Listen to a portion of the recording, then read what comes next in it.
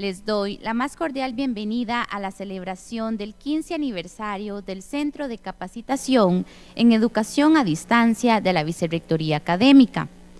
En conmemoración de esta actividad se realizará una jornada académica denominada Docencia Universitaria en Entornos Virtuales. Para ello, tendremos dos conferencias internacionales a cargo de la señora Mercedes González y el señor Albert Sangra, a quienes les enviamos un cordial saludo. Nos acompañan en la mesa principal el señor Luis Guillermo Carpio Malavasi, nuestro rector, la señora Marianela Salas, coordinadora del CECET. Extiendo un saludo a los centros de capacitación de otras universidades, a las autoridades universitarias, tutores y funcionarios que nos acompañan el día de hoy. Seguidamente, las palabras de bienvenida del señor Luis Guillermo Carpio Malavasi.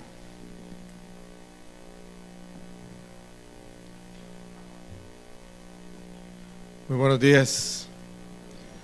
Un saludo muy especial a doña Marianela, coordinadora del Centro de Capacitación de la UNED. Un saludo a doña Katia, nuestra vicerrectora académica, señoras directoras, directores que nos acompañan, y un especial recibimiento a, quienes nos visitan de afuera, de la Fundación Mardengo, de la Universidad de Costa Rica, de la Universidad Nacional, a quien le envío un saludo, su rector electo, don Alberto Salón, del TEC, Igualmente saludamos a don Julio Calvo, quien el jueves pasado tuvo la reelección como rector y seguiremos compañeros de luchas por un buen rato. Y a la gente de Lina también que nos acompaña.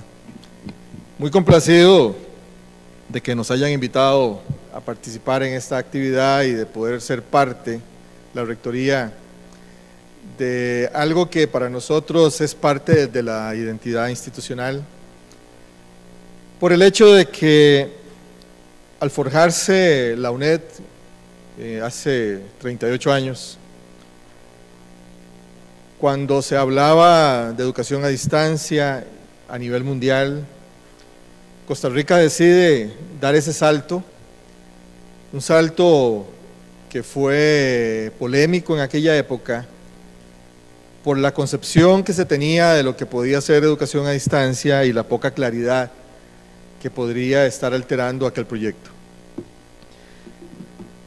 Al nacer la UNED, aquella universidad diferente, basada en dinámicas educativas innovadoras, empezamos a dar pasos para mostrarle a Costa Rica una nueva forma de hacer universidad. Sin embargo, entre todas las, le damos la bienvenida a nuestro invitado especial.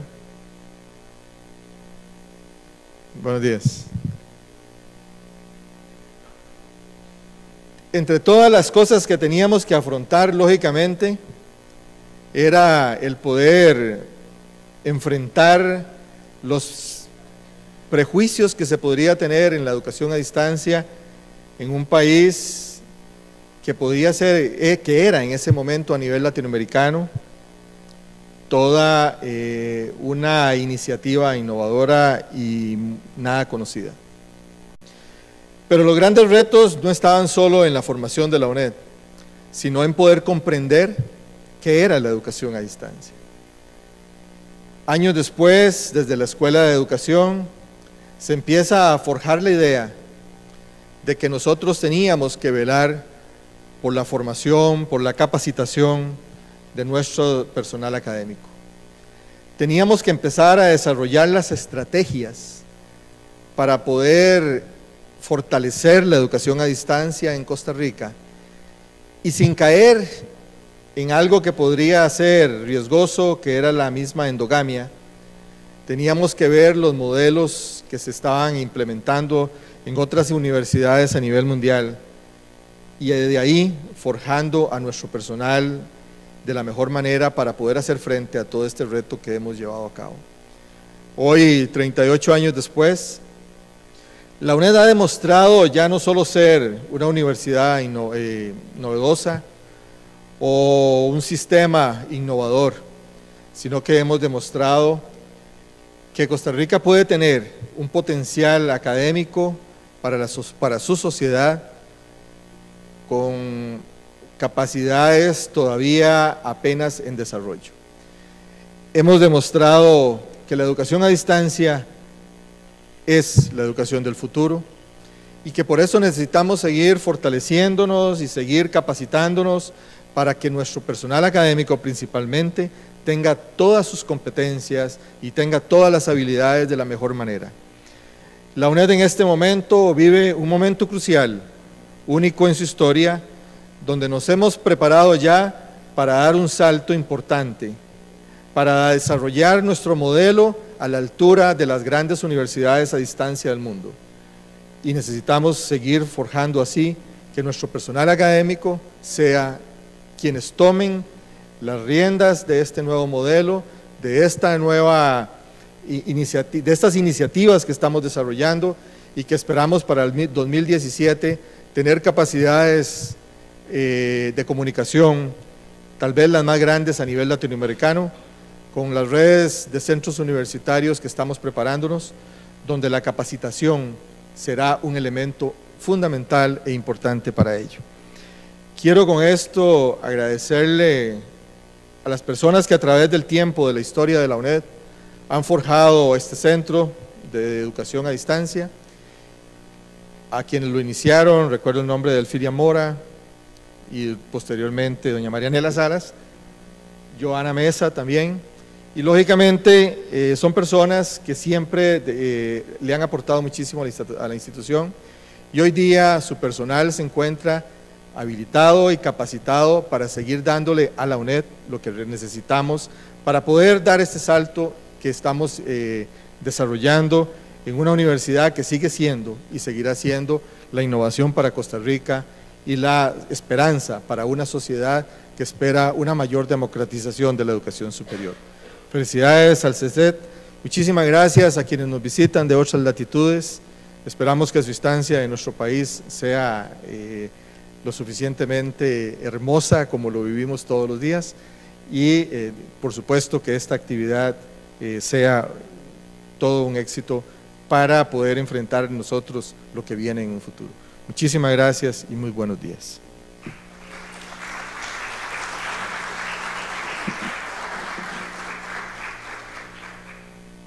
Gracias, don Luis. A continuación, la síntesis del informe de labores del CECET desde su creación, a cargo de la señora Marianela Salas.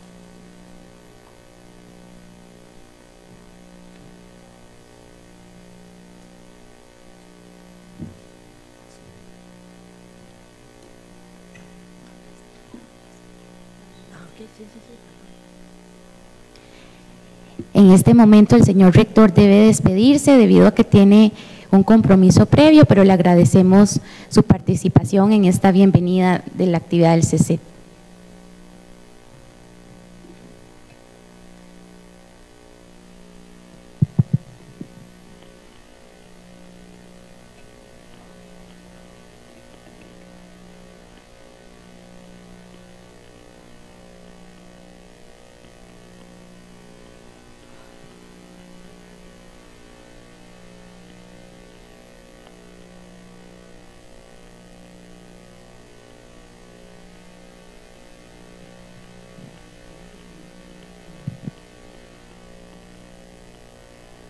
Bueno, muy buenos días. Eh, en primer lugar, quisiera nuevamente pedir disculpas por el atrasito que tuvimos al inicio, pero esperamos que de ahora en adelante todo salga perfecto, que las charlas con los conferencistas, don Albert Sangra y doña Mercedes eh, González, sean un éxito, que los talleres también sean un éxito. Tenemos a eh, los cuatro máximos expositores con una experiencia inmensa en lo que ellos van a trabajar y los talleres también esperamos que sean un éxito. Les agradecemos muchísimo la participación de ustedes, estar aquí con nosotros, compartir con nosotros la felicidad del 15 aniversario, que empieza hoy y termina mañana. Y de una vez les digo que termina con medio festivo, así que vamos a tener un, brindis al, al final y cumpleaños y todo, queque y todo. Así es que eh, esperamos llegar al final de esta jornada. Bien, Yo voy a hacer un recorrido corto, un recorrido corto por lo que es el centro de capacitación o lo que ha sido en esos 15 años. Empezando entonces, em, digamos, contextualizando un poquito lo que es lo que entendemos por, o lo que normalmente se entiende por capacitación, em, que se describe como un, un, proceso que busca la perfección de habilidades, destrezas, conocimientos, em, que surge de la diferencia entre lo, que una persona eh, sabe y lo que debe saber para un puesto.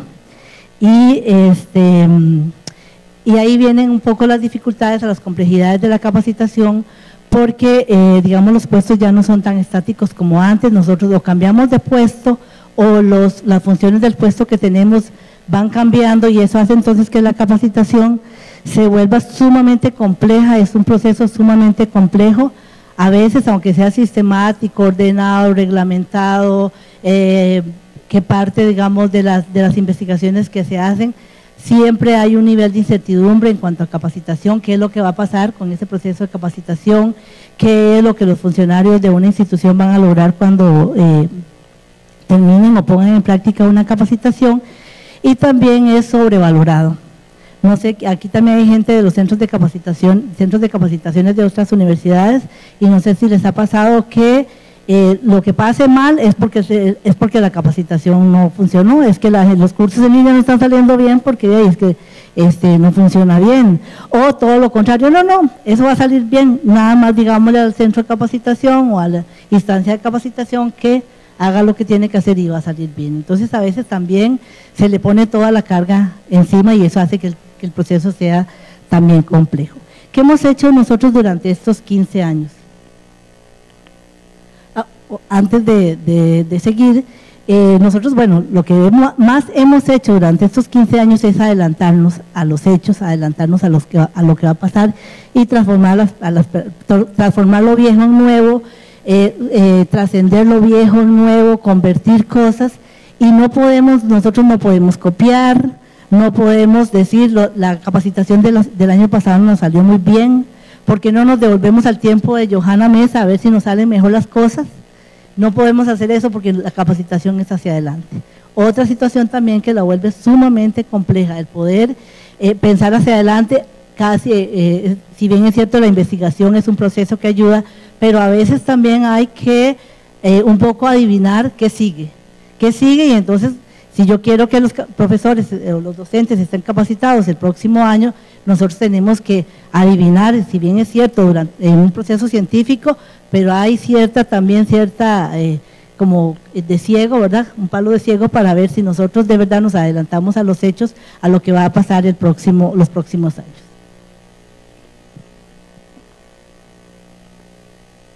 Ahora sí vamos a ver qué hemos hecho en, el CC durante estos 15 años. Eh, nosotros empezamos hace 15 años con el curso de didáctica universitaria, era solo un curso de didáctica universitaria, se daba eh, completamente eh, presencial. Recuerdo, yo fui alumna de ese curso, había que venir durante seis meses, todos los lunes o el lunes de por medio, de 6 de la tarde a 10 de la noche. Y entonces con, le daban un ampo lleno de material muy bueno, uno se puede volver ahora y ver de verdad la riqueza que vean aquel material, pero lo difícil que era este, poder atender ese curso todos los lunes en la, en la, en la noche, y entonces pasamos y además que estaba centrado solamente en la didáctica, era solamente un curso, y pasamos entonces a, actualmente a la pedagogía universitaria. ¿Qué significa que pasamos de la didáctica a la pedagogía? Bueno, que nos interesa muchísimo recordando entonces que la pedagogía es la ciencia que estudia el fenómeno educativo, nosotros no podíamos conformarnos solamente con la didáctica. Eh, sobre todo en sistemas a distancia, nosotros tenemos que pensar en la parte pedagógica, cuál es el, cómo es el fenómeno este, educativo eh, a distancia y cómo le entramos a ese fenómeno, cómo lo asumimos, cuál es el contexto de la UNED, eh, cuáles son los perfiles de nuestros estudiantes, cómo podemos ayudar las comunidades, la investigación, la extensión, y no podíamos conformarnos solamente con la didáctica. Por eso estamos eh, eh, plantados ahora en, un, en un tema mucho más abierto y mucho más complejo. también pasamos de los cursos a las comunidades de aprendizaje. Hace todavía 10 años nosotros estábamos trabajando con cursos, seminarios, talleres. Todavía podríamos decir que hace 8 años todavía eran eh, bastante presenciales. Este, y digamos la capacitación, había capacitación solo si el CECET la promovía y en ese adivinar que decíamos, podríamos decir yo, nosotros pensamos que, o por esta situación que pasó, eh, eh, se necesita esta capacitación o esta otra. Entonces se hacían unas encuestas de necesidad de capacitación, pero tampoco eran muy efectivas porque entonces la gente pedía capacitación. Recuerdo, eh, no es cierto que la gente matemática pidió eso, pero para poner un ejemplo no real, este, hacíamos un cuestionario de necesidad de capacitación y entonces nos decía, necesitamos que nos enseñen a dividir. Entonces nosotros decíamos, bueno, es que esto no, o sea, es de esperar que todos los profesores de matemáticas sepan dividir, además no es tarea del centro de capacitación en educación a distancia enseñar a dividir porque es de la disciplina propia y nos encontramos muchas veces con, esas, con esa situación, ¿verdad? De la gente pidiendo lo que no podíamos ofrecer, eh, pidiendo lo que tenía que tener un profesional en esa área, hasta que logramos eh, en ese momento, yo diría que en este momento tal vez escasos dos años o el último año, tener comunidades de aprendizaje. La gente proponiendo capacitaciones, ahora que estamos haciendo la evaluación de los, em, de, los, procesos de capacitación del CECET, una de las preguntas que le hacemos a los grupos de, ahorita les explico de qué se trata esto, pero una de las preguntas que les hacemos es eh, cómo gestiona la capacitación y nos hemos encontrado con un montón de sorpresas, un montón de capacitaciones, de cursos, de, actividades de capacitación que no son gestionadas por, la, por, la, por el centro de capacitación, sino son gestionadas por la misma escuela, por, la, por un grupo de gente que se encontró por allí. Ayer estaba revisando un curso que estamos dando, un curso en el que soy facilitadora, y vi, estaba revisando las tareas y yo, esta tarea es muy parecida a la anterior y a la anterior y a la anterior y a la anterior, pero era solo parecida, no estoy, no estoy diciendo que estaban copiando. Y a mí me emocionó mucho, yo dije, qué bonito, porque se siente que en algún momento se reunieron o se mandaron, porque la, tarea no se podía copiar finalmente, o sea, usted podría decir, mi propuesta es un estudio de casos, y hubo como 20 que pusieron estudio de casos, pero contextualizado a su, a su asignatura, a su objetivo, no sé qué pero daba la impresión de que se reunieron, de que hablaron, de que gestionaron algo para poder hacer esa tarea.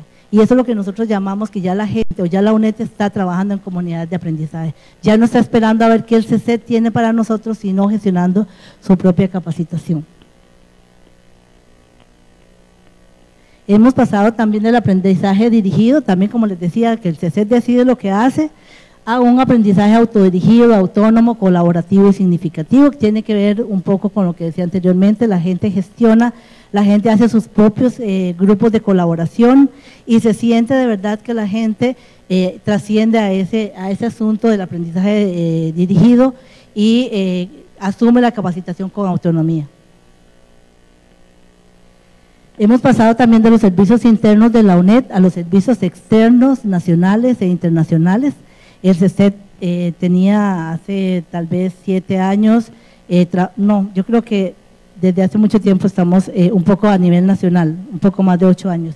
Pero sí, digamos, nosotros hemos trabajado con capacitación con diferentes bancos, con el AIA, con el ICE, con muchas instituciones del Estado que han pedido capacitación en educación a distancia, con universidades, con la Asamblea Legislativa, con el SINAES también tuvimos un proceso el año pasado muy exitoso porque fue la primera capacitación que recibía el SINAES. Oigan ustedes, nosotros ya teníamos mucho tiempo de estarnos en procesos de acreditación y el SINAES nunca se había capacitado en educación a distancia. Entonces el año pasado, antepasado pasado, tuvimos una capacitación muy exitosa con el SINAES, con el SINAES también. Entonces eso de salir hacia afuera también nos permite traer experiencia para, para adentro. Estamos trabajando, somos, el CCT está conectado con Virtual Educa, representamos la UNED en, ante Virtual Educa. Tenemos una red que se llama Escalet, Escalel, que es calidad del e-learning en América Latina. Tenemos 280 socios a nivel latinoamericano.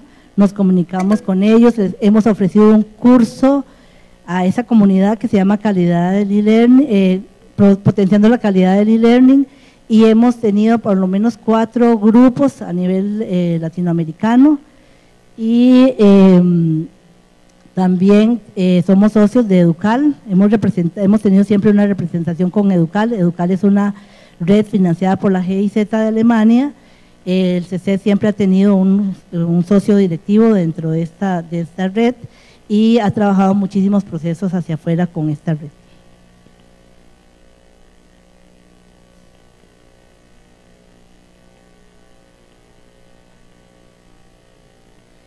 Em, aquí tenemos a las maestras del CECET que definitivamente no podemos olvidarlo, somos, estamos cumpliendo 15 años y yo diría que Deifilia Mora y Johanna Mesa son definitivamente, sin duda alguna, las maestras del centro de capacitación. Eh, Deifilia nos contaba que el primer año andaba con ese portafolio que le daban caminando, no, había oficina, eh, había poca credibilidad en la capacitación, no por lo que se estaba haciendo, sino porque el primer año, de si no demuestra lo que hace, pues posiblemente hay que empezar a trabajar en esa credibilidad, no había oficina, era solamente de y la secretaria, se fue creciendo, ahora somos eh, nueve personas y, somos, eh, tenemos contrataciones de 32 bis, más o menos 10 personas más, así que el CZ ha crecido también en número de personas. Y este, entonces la creación del CC, el punto clave de la creación del nacimiento del CC se lo debemos a Efilia Mora, que definitivamente fue una maestra para el CC y Johanna Mesa también. Y Johanna Mesa llegó seis años después, eh, cuando teníamos una gran necesidad de empezar los cursos en línea y no había manera de que, de, que empezáramos. Eh, estábamos como encrochados en el asunto de tenemos que capacitar en línea. No podemos seguir capacitando presencialmente, no lo lográbamos y Johanna dio eh, en el clavo y fue cuando empezó definitivamente un cambio eh, un salto cualitativo en el centro de capacitación. Así es que nuestro saludo a la distancia a Johanna Mesa y a Defilia. Crear y fortalecer. Nosotros fuimos creados en la administración de, don Rodrigo Arias Camacho. Creía absolutamente en la capacitación, estaba enamorado de la capacitación y nos apoyó 100% y Luis Guillermo Carpio Malabasi, que nos, ha, eh, que nos ha fortalecido, que ha estado siempre favoreciendo lo que nosotros pedimos, lo que nosotros necesitamos. Y por supuesto que esto ha sido eh, a través de las vicerrectorías y aprovechamos entonces para agradecer también a las vicerrectorías. Nosotros trabajamos con la vicerrectoría eh, de planificación en procesos de internacionalización, trabajamos en, con la eh, Vicerrectoría de Investigación muy fuertemente en los últimos dos años porque estamos trabajando mucho en el área de investigación, ya no nos estamos conformando con lo que nosotros recogemos del trabajo cotidiano de la universidad, sino que estamos eh, eh, investigando muy en serio. Tenemos en este momento cuatro investigaciones apoyadas por la Vicerrectoría de Investigación en cuanto a materiales didácticos, videoconferencia, eh, el aprendizaje de adultos y me olvidó el cuarto. Eh, pero sí estamos trabajando, digamos, fuertemente en eso. Y finalmente, por supuesto, que el apoyo que hemos tenido de la Vicerrectoría Académica, nosotros pertenecemos a la Vicerrectoría Académica y aprovecho entonces para agradecer el apoyo que hemos, el apoyo incondicional que hemos tenido en todo momento de nuestra jefe superior inmediata, la, la vicerrectora, doña Katia Calderón, eh, profundamente agradecidos por su apoyo. El trabajo del CZ ha estado eh, pensado en dos áreas. Una es el modelo pedagógico de la UNED y otra las eh, tecnologías de la información y la comunicación para lograr o para alcanzar una universidad a distancia de quinta o sexta o la generación que nos toque eh, vivir y en eso estamos. O sea, ese es como, nosotros siempre vamos detrás de eso. Nunca a pesar de que, hemos, el modelo pedagógico ha tenido tantas críticas, nosotros el modelo pedagógico es nuestro librito, porque cuando dejemos votado el modelo pedagógico, yo pienso que las cosas empiezan a, desordenar, si es, cierto que necesitamos un nuevo modelo pedagógico, pero todavía no lo tenemos, entonces trabajamos con nuestro modelo, muy pegados a nuestro modelo pedagógico, pero pensando en el futuro y pensando en qué nos pueden aportar las tecnologías de la información y la comunicación a, este, a esta educación a distancia de quinta generación.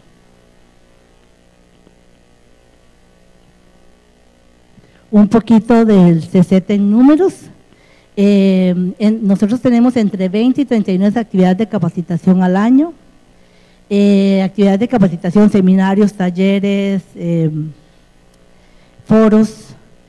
Eh, y cuando digo 20 o 31 actividades, significa que, por ejemplo, el curso de pedagogía se da, se abren cuatro, cuatro o cinco grupos cada cuatrimestre, o sea, 15 grupos al año. Entonces habría que multiplicar esos 20 o 31 por otro, otro tanto de números, lo que equivaldría casi a 100 grupos atendidos durante el año. Eh, hemos trabajado en los últimos cinco años 40 producciones de materiales didácticos para cursos, escritos, eh, de audio y video. Nos estamos acercando a las, en los últimos cinco, cinco años nos estamos acercando a las 5.000 capacitaciones. No es que tenemos 15.000 personas trabajando en la universidad, significa que una persona puede llevar cuatro o cinco capacitaciones al año y por supuesto están las personas que no llevan que llevan cero capacitaciones al año, pero sí estamos acercándonos a las 5.000 capacitaciones en los últimos cinco, capacitados en los últimos cinco años. El porcentaje de personas que abandonan el curso, que para nosotros es muy significativo, es casi nulo, casi nulo, a veces una persona eh, también nos llama la atención de que las matrículas de los cursos duran no más de un día. Nosotros abrimos el curso de pedagogía, el curso de OID, qué sé yo, y no, dura, eh, no más de un día para hacer la matrícula. Se maneja aproximadamente 10 a 15 grupos por cuatrimestre y la mayoría de los cursos son 100% en línea. Esos números eh, se traducen aquí en una línea de capacitación que ya ustedes conocen, la pongo ahí nada más como ilustración.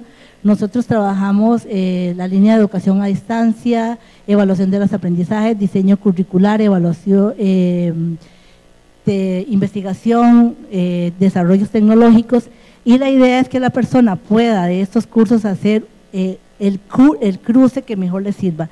La persona podría hacer, si está trabajando por ejemplo en eh, solamente como tutor, por ejemplo, podría eh, escoger la línea verde claro, la columna, o si está trabajando en diferentes actividades, podría ser que escoja más bien una de las filas. Entonces la idea no es que solo hay dos cursos que son obligatorios, pedagogía y OID, este, pero a partir de eso es de esperar que la gente haga, las, haga sus coordenadas con respecto a esta propuesta. Nosotros trabajamos en cuatro, esto no se ve, pero siempre lo quise presentar porque eh, es para contarles cómo estamos llevando nosotros, digamos, las áreas que trabajamos. Nosotros trabajamos eh, pedagogía, tecnología, eh, gestión, investigación y liderazgo. Entonces es de esperar que todo, no se trata solamente de decir, ahora vamos a dar un curso de liderazgo, ahora de educación a distancia, ahora de tecnología, sino que todos los cursos, capacitaciones, seminarios que el CCT ofrece tengan algún componente de estos. Entonces, el, por ejemplo, el curso de pedagogía universitaria tiene un 3 que significa muy alto en componente en el componente de pedagogía, tiene un 1 en investigación, un 1 en tecnología, un 1 en liderazgo. Pero, por ejemplo, el curso de hoy de organización y diseño de cursos en línea tiene un 3 en pedagogía, pero también tiene un 3 en tecnología. Entonces, la idea también es para ver si nosotros estamos atendiendo el peso de la propuesta que tenemos dentro del centro de capacitación y trabajar en las cuatro áreas que tenemos. Voy a apurarme un poquito. Estas son las actividades estrella que nosotros hemos hecho durante los eh, últimos cinco años. Y yo digo durante los últimos cinco años porque cuando hicimos el décimo aniversario también tuvimos una actividad como esta, hicimos un, informe. Así que en los últimos dos, eh, cinco años tuvimos dos seminarios de aprendizaje en línea que trabajamos con el PAL y el PASE. Fueron dos eh, encuentros exitosísimos, eh, muy eh, aceptados por las personas y también nos ayudó mucho a acercarnos a las oficinas de apoyo como el PAL y el PASE. fueron muy, muy exitosos. Tuvimos dos encuentros de tutores, solamente con tutores, un encuentro, a pesar de que son muchos, porque vienen la primera vez cerca de 110 tutores, la segunda vez 80 tutores, a pesar de que son muchos tutores, este, los tutores sienten que es un espacio dedicado a ellos y se trabaja, es una, a pesar de que es tanta gente, se, siente como un espacio muy íntimo para ellos, ha sido un espacio también muy, eh, muy aceptado. Y ya vamos para el tercer, es de esperar que tengamos este año el tercer encuentro de tutores. Eh, tuvimos el año pasado el primer simposio de evaluación de los aprendizajes, evaluar para aprender, también muy exitoso, eh, lo trabajamos con el programa de apoyo curricular y, con, directamente con la Vicerrectoría Académica. Y este año, para septiembre, ya quedan invitados, tenemos el segundo simposio de evaluación de los aprendizajes. Estamos trabajando los MOOCs, nos tienen sumamente felices, tenemos tres MOOCs, eh, cursos masivos abiertos, eh, los estamos ofreciendo a América Latina, tenemos un MOOC sobre estrategias eh, didácticas, de estrategias de aprendizaje individual, estrategias de aprendizaje colaborativo para cursos en línea y eso para nosotros también ha sido un salto cualitativo, porque no se trata solamente de, salir hacia afuera cuando las instituciones nos llaman, sino de salir libremente hacia afuera y poder estar, este, por lo menos en América Latina o en Iberoamérica. Eh, lo de SINAES, hemos trabajado más de cerca con SINAES, que ya se los comenté. Y finalmente, eh, este año empezamos un proceso muy bonito, que es una evaluación de los procesos de capacitación del, CICET, del CECET, que lo estamos trabajando con el CIEI.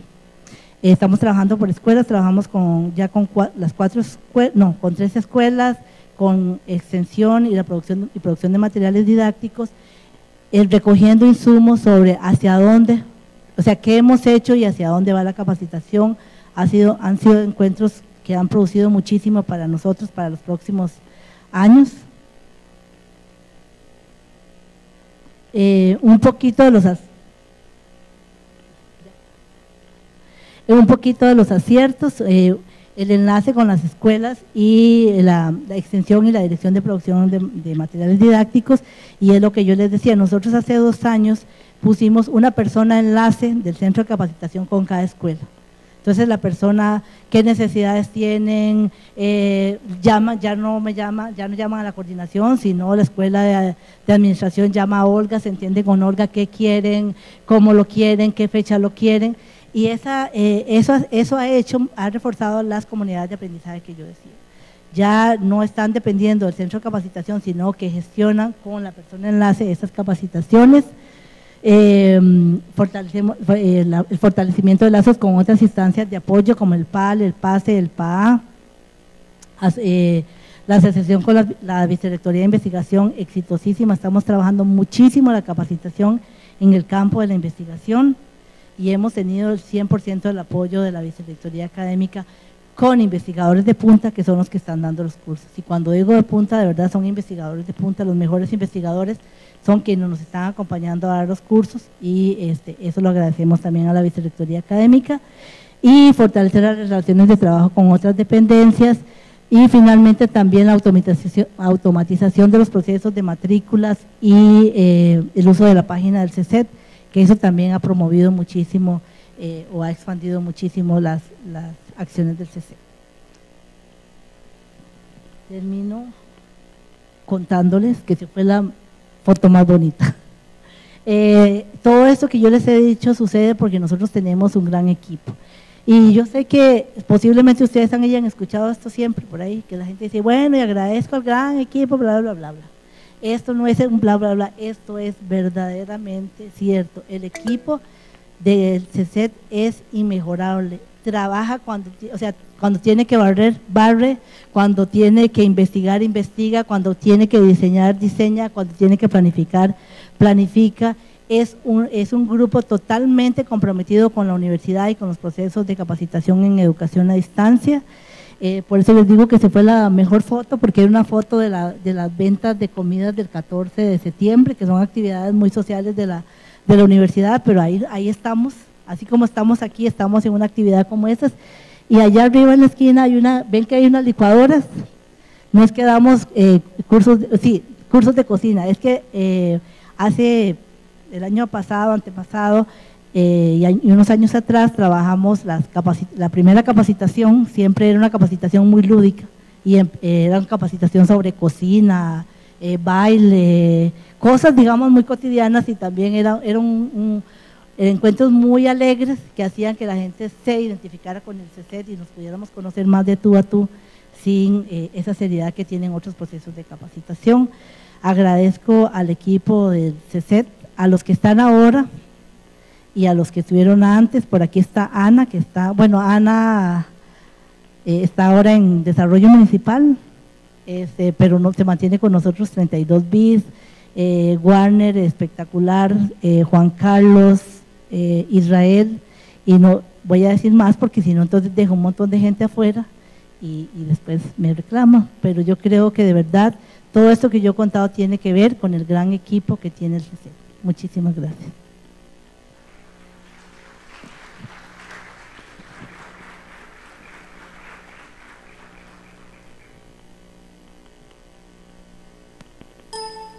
Gracias, doña Marianela. Seguidamente los invito a visualizar un video con la función del CECET en estos 15 años.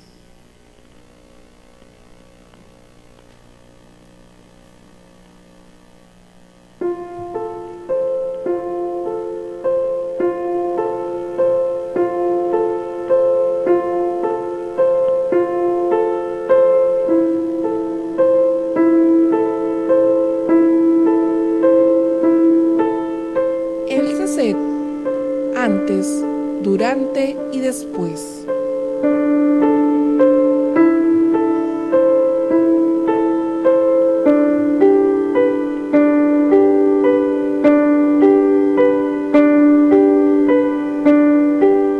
Estimados y estimadas colegas, el Centro de Capacitación en Educación a Distancia celebra su 15 aniversario.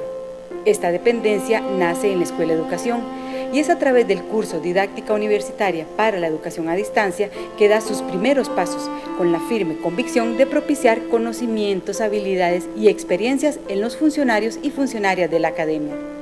Hoy, unos cuantos añitos después, podemos sentirnos completamente seguras de que la tarea se ha realizado con éxito y en ese sentido queremos compartir con ustedes nuestro agradecimiento y nuestra satisfacción, porque son ustedes, compañeros y compañeras, quienes hacen posible que el CECET cumpla la misión para la cual fue creado. Basta con darle una ojeada a la cantidad y variedad de cursos, talleres, seminarios, conversatorios, materiales y recursos de aprendizaje que hemos realizado con ustedes, por ustedes y para ustedes, pues de sus ideas, necesidades, expectativas, retos e innovaciones es que nace la propuesta de capacitación que se ofrece año tras año. Sabemos que aún nos falta mucho camino por recorrer, que aún podemos y debemos avanzar y crecer mucho más.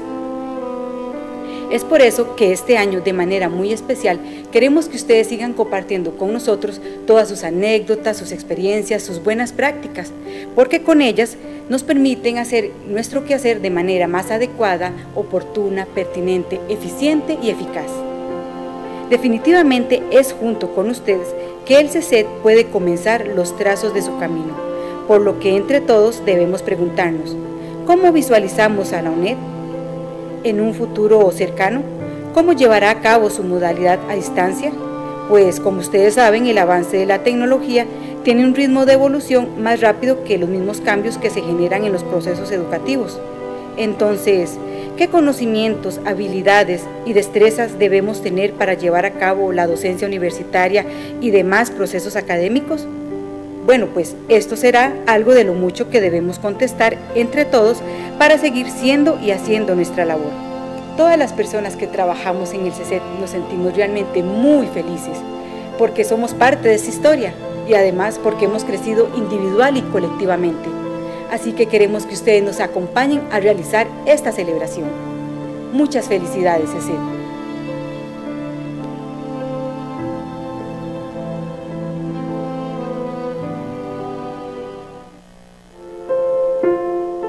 ¿Cómo aplican los aportes del CECET dentro de sus tareas docentes? Muy buenos días a todos y todas. Mi nombre, Constantino Bolaños Herrera.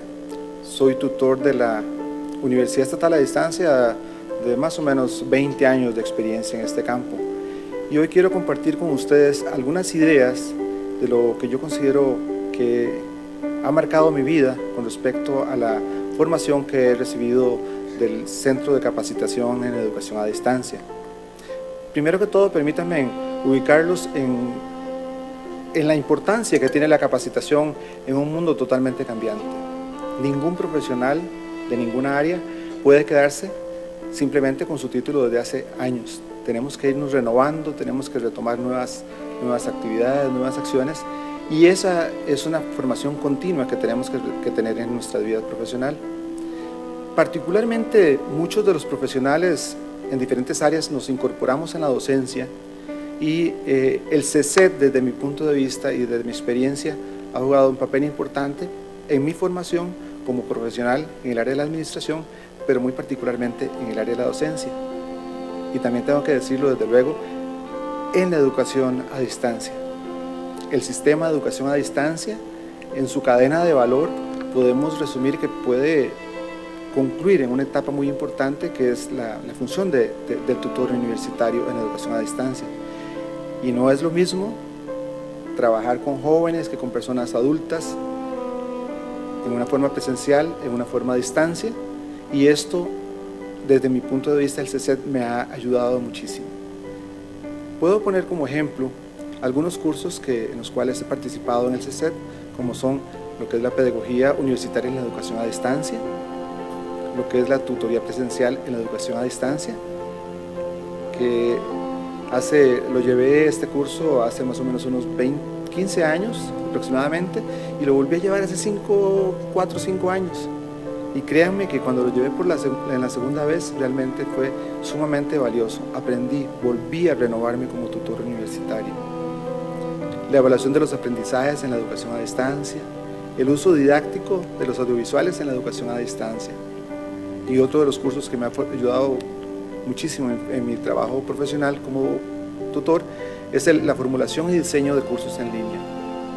En este campo me ha permitido unir lo que es las descripciones curriculares con las eh, matrices de aprendizaje, con los diferentes recursos que deben de utilizar a la hora de mediar el proceso eh, de aprendizaje y realmente me ha ayudado muchísimo en mi trabajo.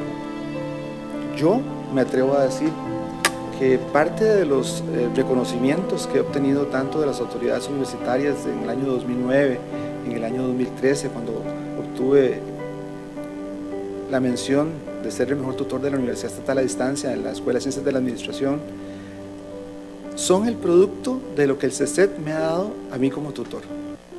Así que yo, desde mi participación como tutor y como eh, cliente frecuente del CECET, les deseo muchas, les digo muchas gracias CECET y felicidades en su 15 aniversario. Gracias.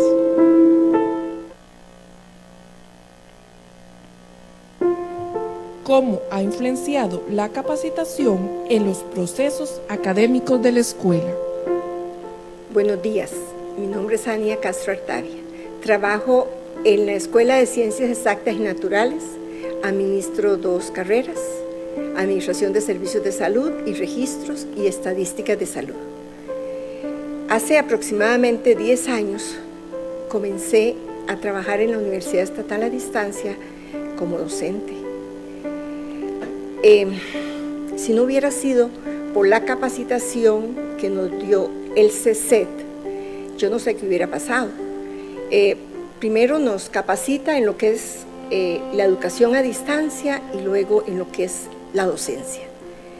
Eh, el papel del CECED dentro de esta universidad es muy importante. El CECED debe trabajar muy de la mano con otras instancias como el PAL, como el PASE, el CIEI, entre otros. Y muy, muy de cerca con lo que es la academia con los programas y con los tutores y con los encargados de cátedra, por supuesto, ya que es ahí donde nos damos cuenta cuáles son nuestras necesidades. Em, ya han pasado 15 años desde que aparece el CECET y considero que es importante que el CECET dé una mirada atrás y se reinvente. Necesitamos ese acercamiento con los programas, como lo dije anteriormente, con los programas y con las cátedras. Eh, por ejemplo, en nuestro caso, en nuestra escuela, estos dos programas que yo administro son los únicos de la escuela que tenemos privados de libertad. Y yo siento que ahí estamos un poco débiles. Necesitamos que nos apoyen un poquito más para poder dar un mejor servicio a nuestros estudiantes y a las personas que tienen múltiples discapacidades. Eh, yo, a mí solamente me resta felicitarlos y decirles que adelante, que la academia está muy orgullosa de tenerlos como nuestros capacitadores. Muchas gracias. Importancia de la capacitación en la calidad de la educación a distancia. Hablar de la importancia de la capacitación en la educación a distancia es un sinónimo de su calidad. Esta calidad, eh, dado por diferentes autores, está definido por tres pilares fundamentales. Estos son la actualidad, la congruencia y la pertinencia. El primer factor, lo referente a la actualidad, es la forma en la cual eh, los contenidos o los nuevos contenidos son llevados hacia, o por medio de la capacitación, hacia el público meta, que necesita capacitarse, obviamente, para eh, estar en un entorno en el cual la calidad sea objeto de su gestión. Un segundo pilar es la congruencia. La congruencia es otro aspecto fundamental porque la capacitación para que sea de calidad debe responder a la modalidad en la cual está dada. Obviamente, la capacitación en la educación a distancia debe ser dado en esta modalidad presencial en algunos momentos y también por medio de plataformas u otras vías. El tercer aspecto o tercer pilar fundamental para que una capacitación sea de calidad es la pertinencia. Y la pertinencia es entendida como la forma en la cual se responde a las necesidades propias referentes a las temáticas que cada docente necesita para eh, nuevamente actualizar, ser congruente y por último ser pertinente eh, con la calidad ante la cual la universidad debe responder a la sociedad costarricense.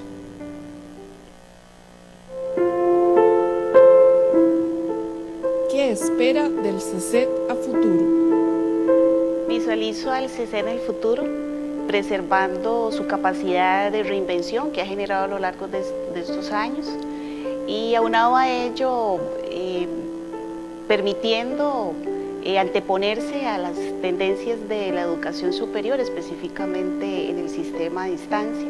Y algo muy importante sería que se puedan generar espacios de intercambio con otros académicos para poder enriquecer nuestras visiones y experiencias. Les agradezco al CECET por el apoyo brindado en estos años y les deseo muchos éxitos.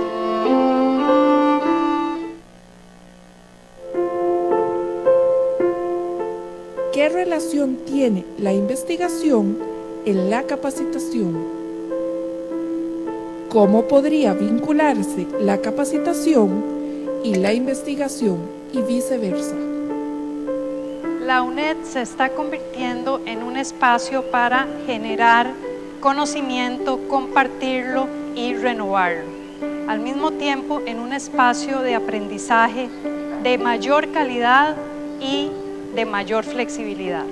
En este proceso, nuestro Centro de Capacitación en Educación a Distancia ha sido un importante catalizador, que mucho más que un espacio pasivo de capacitación tradicional, es el lugar activo para la creación colectiva, colaborativa de capacidades. Por todas esas razones, desde investigación nos unimos a la celebración del decimoquinto aniversario del CC.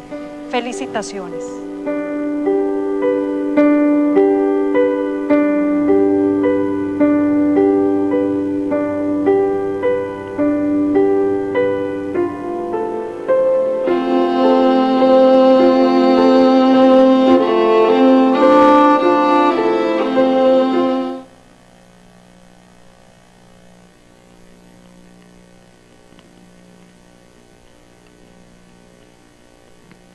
Continuación, tengo el gusto de presentar la conferencia con el tema ¿Es necesaria una nueva epistemología para orientar los procesos formativos en entornos virtuales? a cargo del doctor Albert Sangra. El señor Sangra es doctor en Filosofía de la Educación y posgraduado en Educación Abierta y a Distancia por la Open University Ejerce como consultor superior en diferentes proyectos sobre educación a distancia en Europa y América. Actualmente es director de eLearn Center de la Universidad de Oberta de Cataluña, autor de varios libros. Es miembro del consejo editorial del American Journal of Distance Education, coordinador y coautor del curso de posgrado Diseño y Producción del Software para Material Multimedia Educativo. Sin más preámbulo, el doctor Albert Sangra.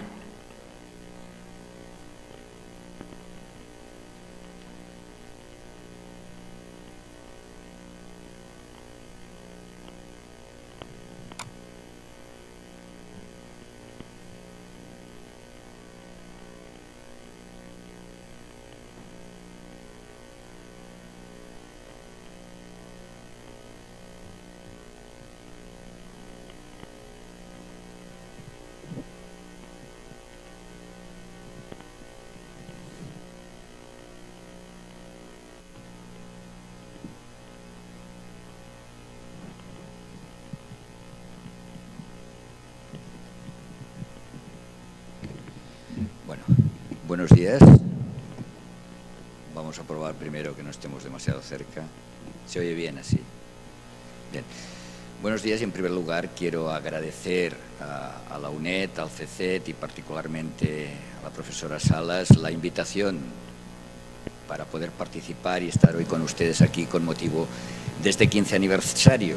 Alguien puede pensar que 15 años son poquitos, ¿no? Porque una persona de 15 años es muy, muy joven. Yo los tengo ya muy lejos, esos 15 años. ¿no?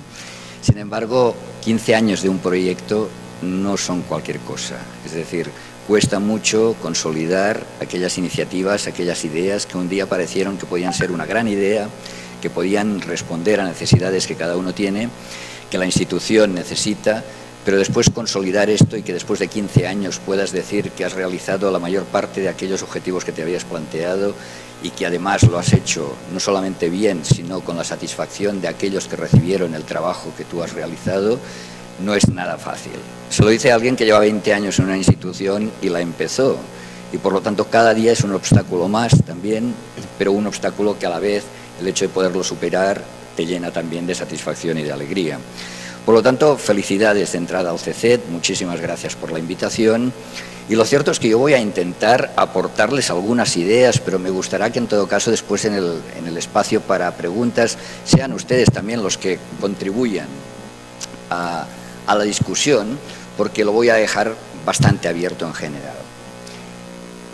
Bien, más o menos así, en muchas ocasiones, es como se aprendía en el pasado. Bueno, la verdad es que tampoco es tan distinto a como estamos aprendiendo en muchos casos ahora, o en muchos lugares a lo mejor podríamos encontrar, digamos, algo más modernizado, una situación relativamente similar. Pero sí que es verdad que la integración permanente de las tecnologías en nuestros entornos de aprendizaje y nuestros entornos educativos ha hecho que las cosas cambien bastante. Y la verdad es que los jóvenes y los niños que crecen ahora ya están aprendiendo de formas muy distintas. Y lo podremos ver en un pequeño vídeo que dura un minuto y medio, que lo verán aquí, que probablemente algunos de ustedes ya lo conocen, ¿eh? ya, se lo anticipo, pero que me parece que es bastante identificador, si lo puede poner exactamente, de cómo las cosas están yendo o pueden ir en un futuro inmediato.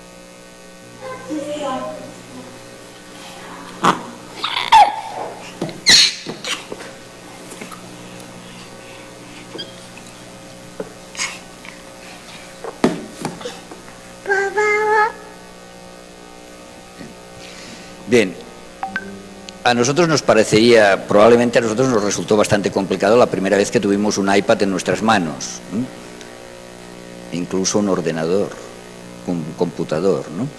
Eh, a los niños les puede parecer que, claro, las revistas no funcionan igual que como funcionan los iPads que tienen en sus manos cada día. Eso solamente pone de manifiesto que quizás los elementos previos con los que nos enfrentamos a aprender alguna cosa, en nuestro caso, son bastante, bastante distintos a como lo son para personas ya mucho más jóvenes o para los que vendrán en un futuro inmediato. Y eso nos tiene que hacer reflexionar, y nos tiene que hacer reflexionar a cómo nos estamos enfrentando también a una forma distinta de aprender, probablemente, en un contexto diferente. Y esta es la tesis que yo quiero manifestar durante esta charla. Si la pregunta es si en los, en los, procesos educativos en entornos virtuales vamos a tener que hacer las cosas de una forma distinta o nos vamos a tener que plantear de forma diferente, de entrada les puedo decir que yo creo que la respuesta es que sí. Y creo que la respuesta es que sí por una razón muy simple. Y es que en educación siempre tenemos que tener muy en cuenta cómo nos va a condicionar el contexto. No es lo mismo enseñar en una sala cerrada con cuatro paredes que enseñar debajo de un árbol o que enseñar en Costa Rica o enseñar en Nueva York. Siempre diremos, bueno, es que claro, tenemos que contextualizar nuestra experiencia. Bueno, pues cuando nosotros hablamos de un entorno virtual, es un nuevo contexto, distinto a otros, que probablemente tendrá unos principios de funcionamiento distintos también. Igual que este niño o esta niña intentaba utilizar la revista de la misma forma que había entendido el iPad, nosotros también podemos entender que un contexto distinto necesitará acciones distintas.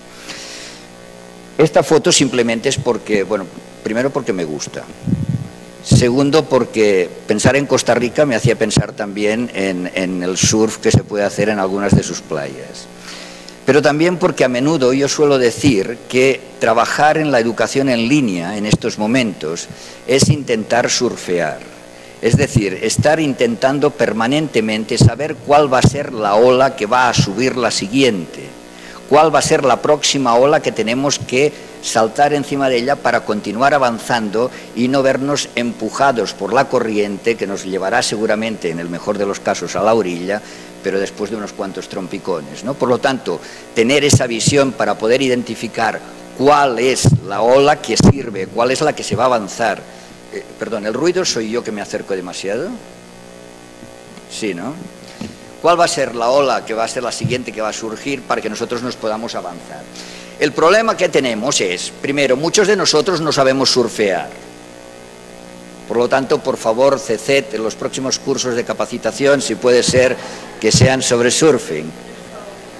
Segundo, nos encontramos en un mar muy turbulento en estos momentos, en el cual no siempre podemos predecir cuál va a ser el siguiente avance, cuál va a ser el siguiente desarrollo. La educación y en particular la educación a distancia ha estado siempre ligada al desarrollo de cualquier nueva tecnología que la población ha podido asumir como propia y que se haya podido generalizar. Sin embargo, la rapidez con que las nuevas tecnologías van apareciendo nos está haciendo ir siempre a contrapié. Y por lo tanto siempre estamos pensando en la nueva tecnología que va a aparecer o que apareció hace dos semanas cuando resulta que la última apareció hace cuatro y todavía estamos intentando saber cómo manejarnos con ella. A lo mejor, a lo mejor, sería interesante pensar que no es necesario cambiar de tecnología cada tres semanas. Podría ser, lo digo en serio, podría ser. Podría ser que no tuviésemos que estar simplemente pendientes de qué tecnología va a aparecer, sino que tengamos una buena hoja de ruta un buen manual de comandamiento de nuestro proceso para que podamos integrar aquellas tecnologías que en cada caso nos pueden ser útiles, interesantes y que pueden añadir un valor determinado. ¿Va a ir mejor este? Vamos a probarlo. Por lo tanto, no cualquier tecnología, desde mi punto de vista, va a ser o válida o estrictamente necesaria. Y tenemos que intentar que ese mar turbulento nosotros poder navegar o surfear de tal forma que seamos nosotros los que establezcamos el rumbo de eh, nuestra nave o el rumbo de nuestra plancha en este caso. Y eso es sumamente importante, porque si solamente estamos ahí para dejarnos llevar, hay una cosa que es muy cierta. Es probable que lleguemos a alguna parte. El único problema es que difícilmente sabremos dónde. Y eso en el ámbito educativo suele ser un problema. Vamos a hablar de educación en línea. Es como yo, en los últimos tiempos recientes, estoy intentando definir aquello que, hacemos. Porque ya saben ustedes que hay multitud de nombres que intentan definirlo, desde educación virtual, e-learning, aprendizaje virtual, aprendizaje electrónico, etcétera, etcétera. Podríamos yo creo que hasta 15, 16 términos distintos que en el fondo detrás intentan tener la misma idea. Intentan tener la misma idea, pero todos son diferentes, porque saben cómo funciona esto ahora, ¿no?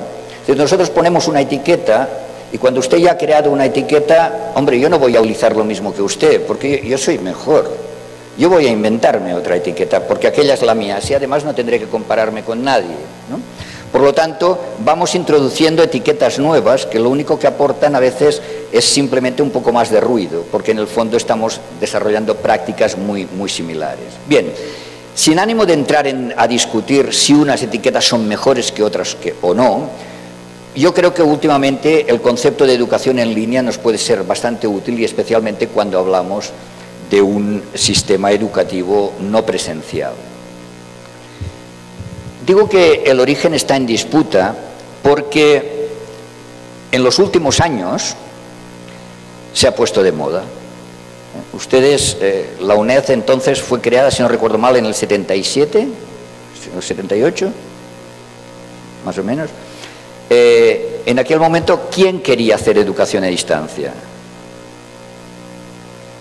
pobres estos de la UNED, ¿no? que se dedicaban a este tipo de educación que era de segundo nivel, de segunda clase, que es lo que hacía la gente que no podía hacer otra cosa, ni podía ir a la universidad, ¿no? Algo le vamos a tener que dar a las personas, por lo tanto, bueno, va, ustedes se pueden entretener haciendo eso. Sin embargo, sin embargo, este auge de las tecnologías ha hecho que la educación a distancia o no presencial haya tomado un cariz de modernidad que en algunos casos incluso ha superado otros tipos de educación. Y al convertirse en algo moderno parece que es, atractivo para la mayor parte de instituciones y también para la población que lo va a utilizar. Por lo tanto, estamos asistiendo a un proceso, o hemos asistido a un proceso, donde de repente la educación a distancia mediada por las nuevas tecnologías ya no es aquello de segundo nivel, sino que es algo moderno que incluso nosotros podemos ser los primeros en ello también. Y cuando digo nosotros, pónganle el nombre de cualquier institución que ustedes estén pensando, da igual. Entonces, ¿qué sucede? Que automáticamente le salen muchos novios al concepto o muchas novias. Y por lo tanto, el concepto de educación en línea o e-learning rápidamente, unos dicen que proviene de forma natural y clara de aquellos que han estudiado la tecnología educativa y por lo tanto, digamos, es el resultado razonable de todo ese proceso. La educación a distancia también lo reclama como propio porque, como he dicho antes, ha ido incorporando las tecnologías históricamente y por lo tanto parece que es un paso razonable y lógico en la evolución de todo este proceso. Y desde las ciencias de la computación acaban de descubrir que esto era importante y que como tiene algo que ver con la tecnología y la informática, lo han inventado ellos también. Por lo tanto, tenemos tres posibles vías en las que nos aparece la educación en línea como de repente. Lo cierto es que de repente no ha aparecido. Y también lo cierto es que probablemente cada uno de esos ámbitos ha aportado aspectos interesantes a la definición de la educación en línea y que no se pueden analizar, no se puede analizar todo el conjunto de desarrollos de la educación en línea sin tener en cuenta cada uno de ellos. Si bien es cierto que desde donde provenga cada uno, digamos, le hará tender más o menos hacia, digamos, ver con más simpatía o menos cada una de esas fuentes de las que se proviene. Es decir, los que estamos aquí mayoritariamente provienen del mundo de la educación a distancia y por lo tanto pensaremos que son los aportes de la educación a distancia lo que nos ha llevado hasta aquí. Pero pensemos que también ha sido importante la contribución que han hecho otros.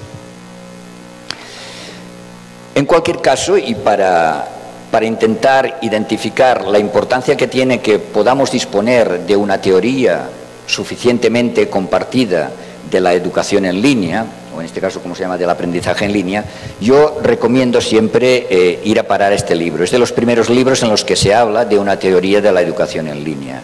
Y creo que es importante, porque si no siempre vamos a buscar la teoría en otros ámbitos, que no, sé si son siempre correspondientes o no, y es obvio que nos interesa y es una exigencia que en nuestro ámbito de educación en línea también se teorice y se pueda disponer de esa epistemología, de ese conocimiento disponible sobre nuestra temática que nos permita después poder avanzar y poder entender de qué estamos hablando cada vez que desarrollamos algo nuevo. Porque el problema muchas veces es que desarrollamos algo nuevo y no sabemos dónde ubicarlo adecuadamente para que tome el sentido y el significado que le querríamos dar. Bien, yo para analizar e intentar responder a la pregunta que, ustedes me sugerían como título de la, charla, eh, he ido a tres fuentes fundamentales, a la fuente psicológica, a la fuente sociológica y a la fuente económica. Fundamentalmente porque creo que son en realidad también los tres vectores que ahora mismo están incidiendo de una manera más directa en lo que está siendo o va a ser la educación en línea en estos momentos y en los próximos años. Por supuesto, la fuente psicológica nos permite identificar que históricamente la educación la hemos basado principalmente en estas tres teorías, en las teorías conductistas, en las cognitivistas y en el constructivismo. Muy recientemente, y la mayor parte, digamos, de, de, las experiencias de cursos a distancia o en línea que yo he visto evolucionados, han bebido bastante de la óptica constructivista para generar, eh, digamos, nuevo conocimiento a partir de las propias interacciones entre los profesores y los, y los estudiantes. Si bien es cierto que todo esto ha ido evolucionando, porque también, en cierta manera, especialmente los dos últimos puntos, porque la tecnología nos ha permitido evolucionar a determinados niveles. Me ha resultado simpática la referencia a la quinta, sexta o séptima generación porque, de educación a distancia, porque es cierto que no, nos ponemos de acuerdo. ¿no? Es decir, algunos autores hablan de cuatro, esperando que la suya sea la quinta, eh, otros hablan de seis, otros hablan de siete, incluso ahora últimamente ya. Lo que pasa es que yo no sé exactamente, cuando, cuando analizas estas generaciones te das cuenta que es que cada autor está teniendo en cuenta un criterio distinto para identificar lo que es una generación o no. Algunos se han basado en la tecnología y en determinadas tecnologías en concreto, otros se han fijado más en los roles que los diferentes agentes han ido jugando. Por lo tanto, a mí me costaría decir cuántas generaciones hay. Sí que hay algunas. Pero lo que sí creo que es fundamental y que ha significado un cambio sustancial en la educación a distancia históricamente eh, llega en un momento crucial, aproximadamente en los años 90, cuando aparecen tecnológicamente plataformas, instrumentos, herramientas, llamémosle como nos parezca, que nos permiten poner en contacto a los estudiantes entre ellos mismos. Eso es algo que históricamente la educación a distancia no había podido hacer, porque era eso, era una educación a distancia y por lo tanto difícilmente cada individuo podía ponerse a trabajar en grupo salvo que viviese muy cerca de otro. ¿De acuerdo? cuando aparece este, estos mecanismos y a través de las conexiones y de Internet nos permite que los estudiantes entre ellos puedan comunicarse, hablarse, trabajar conjuntamente, ahí sí que para mí hay un cambio sustancial de la educación a distancia, que podemos llamarle más tradicional, a una educación a distancia de un tiempo más moderno. No, no sabría decir si es una primera y segunda generación, si es entre la cuarta y la quinta, pero eso probablemente sea lo de menos en este caso. Lo que es muy importante es identificar ese momento y sobre todo ver que a partir de ese momento casi nada es igual, o al menos casi nada debería ser igual, porque las posibilidades que nos abre esta oportunidad de comunicación entre estudiantes y obviamente entre estudiantes y sus profesores nos permite empezar a decir o empezar a hablar no de una educación a distancia, sino de una educación sin coincidencia ni en el espacio ni en el tiempo, que no significa que sea a distancia, sino que puede ser muy, muy cercana pero que nos permite empezar a incrementar la flexibilidad en el acceso a la educación, cosa de la que ya hablaremos después también. ¿De acuerdo? Por lo tanto, esta relación entre estudiantes, no, no, no, es la anterior, es la anterior, porque hemos destacado en negro eh, conectivismo. Es esta nueva, yo todavía no sé si llamarle teoría, mm, digamos que es una apuesta teórica,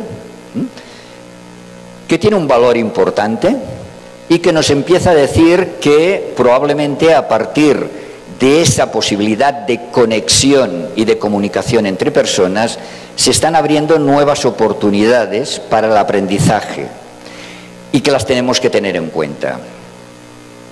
Lo que nos plantea el conectivismo, según la mayoría de ustedes seguramente recuerdan y, y asocian conectivismo a George Siemens, pero con Siemens también ha ido trabajando conjuntamente Stephen Downs, por ejemplo, y si bien es verdad que el documento sobre el conectivismo más conocido o reconocido es precisamente un post en, el, la web de, o, perdón, en el blog de Siemens, este blog que se llama e-learning space, eh, la verdad es que es un tanto complejo, como lo explica. El propio Stephen Downs después lo reduce un poco, para, supongo para que se entendiese un poco mejor, y dice que es la tesis de que el conocimiento se distribuye a través de redes de conexiones y que por lo tanto el aprendizaje consiste en la habilidad de construir y atravesar esas redes. Para Siemens, por ejemplo, lo importante es el conducto en el que va por el que va a circular esa conexión más que el propio contenido. Obviamente hay quien eso lo discute, pero sin embargo estructura un nuevo sentido eh, un nuevo significado de, este tipo de, educación, de, entender el aprendizaje a partir de las conexiones que se puedan crear entre distintas personas y que sean ellas también las que estén contribuyendo a la generación de nuevo conocimiento a partir de esas interacciones que se van sucediendo. Bien, la fuente sociológica nos permite identificar tres grandes elementos que están sucediendo.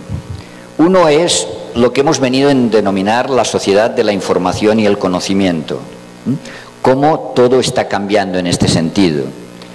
Segundo, el aprendizaje a lo largo de la vida como un elemento necesario porque las cosas cambian tan deprisa que ya se dice que probablemente nadie va a acabar trabajando en lo mismo que está trabajando en este momento. Por supuesto que esto depende de la edad y de la digamos, eh, de la estabilidad con el que esté en este momento en, su posición.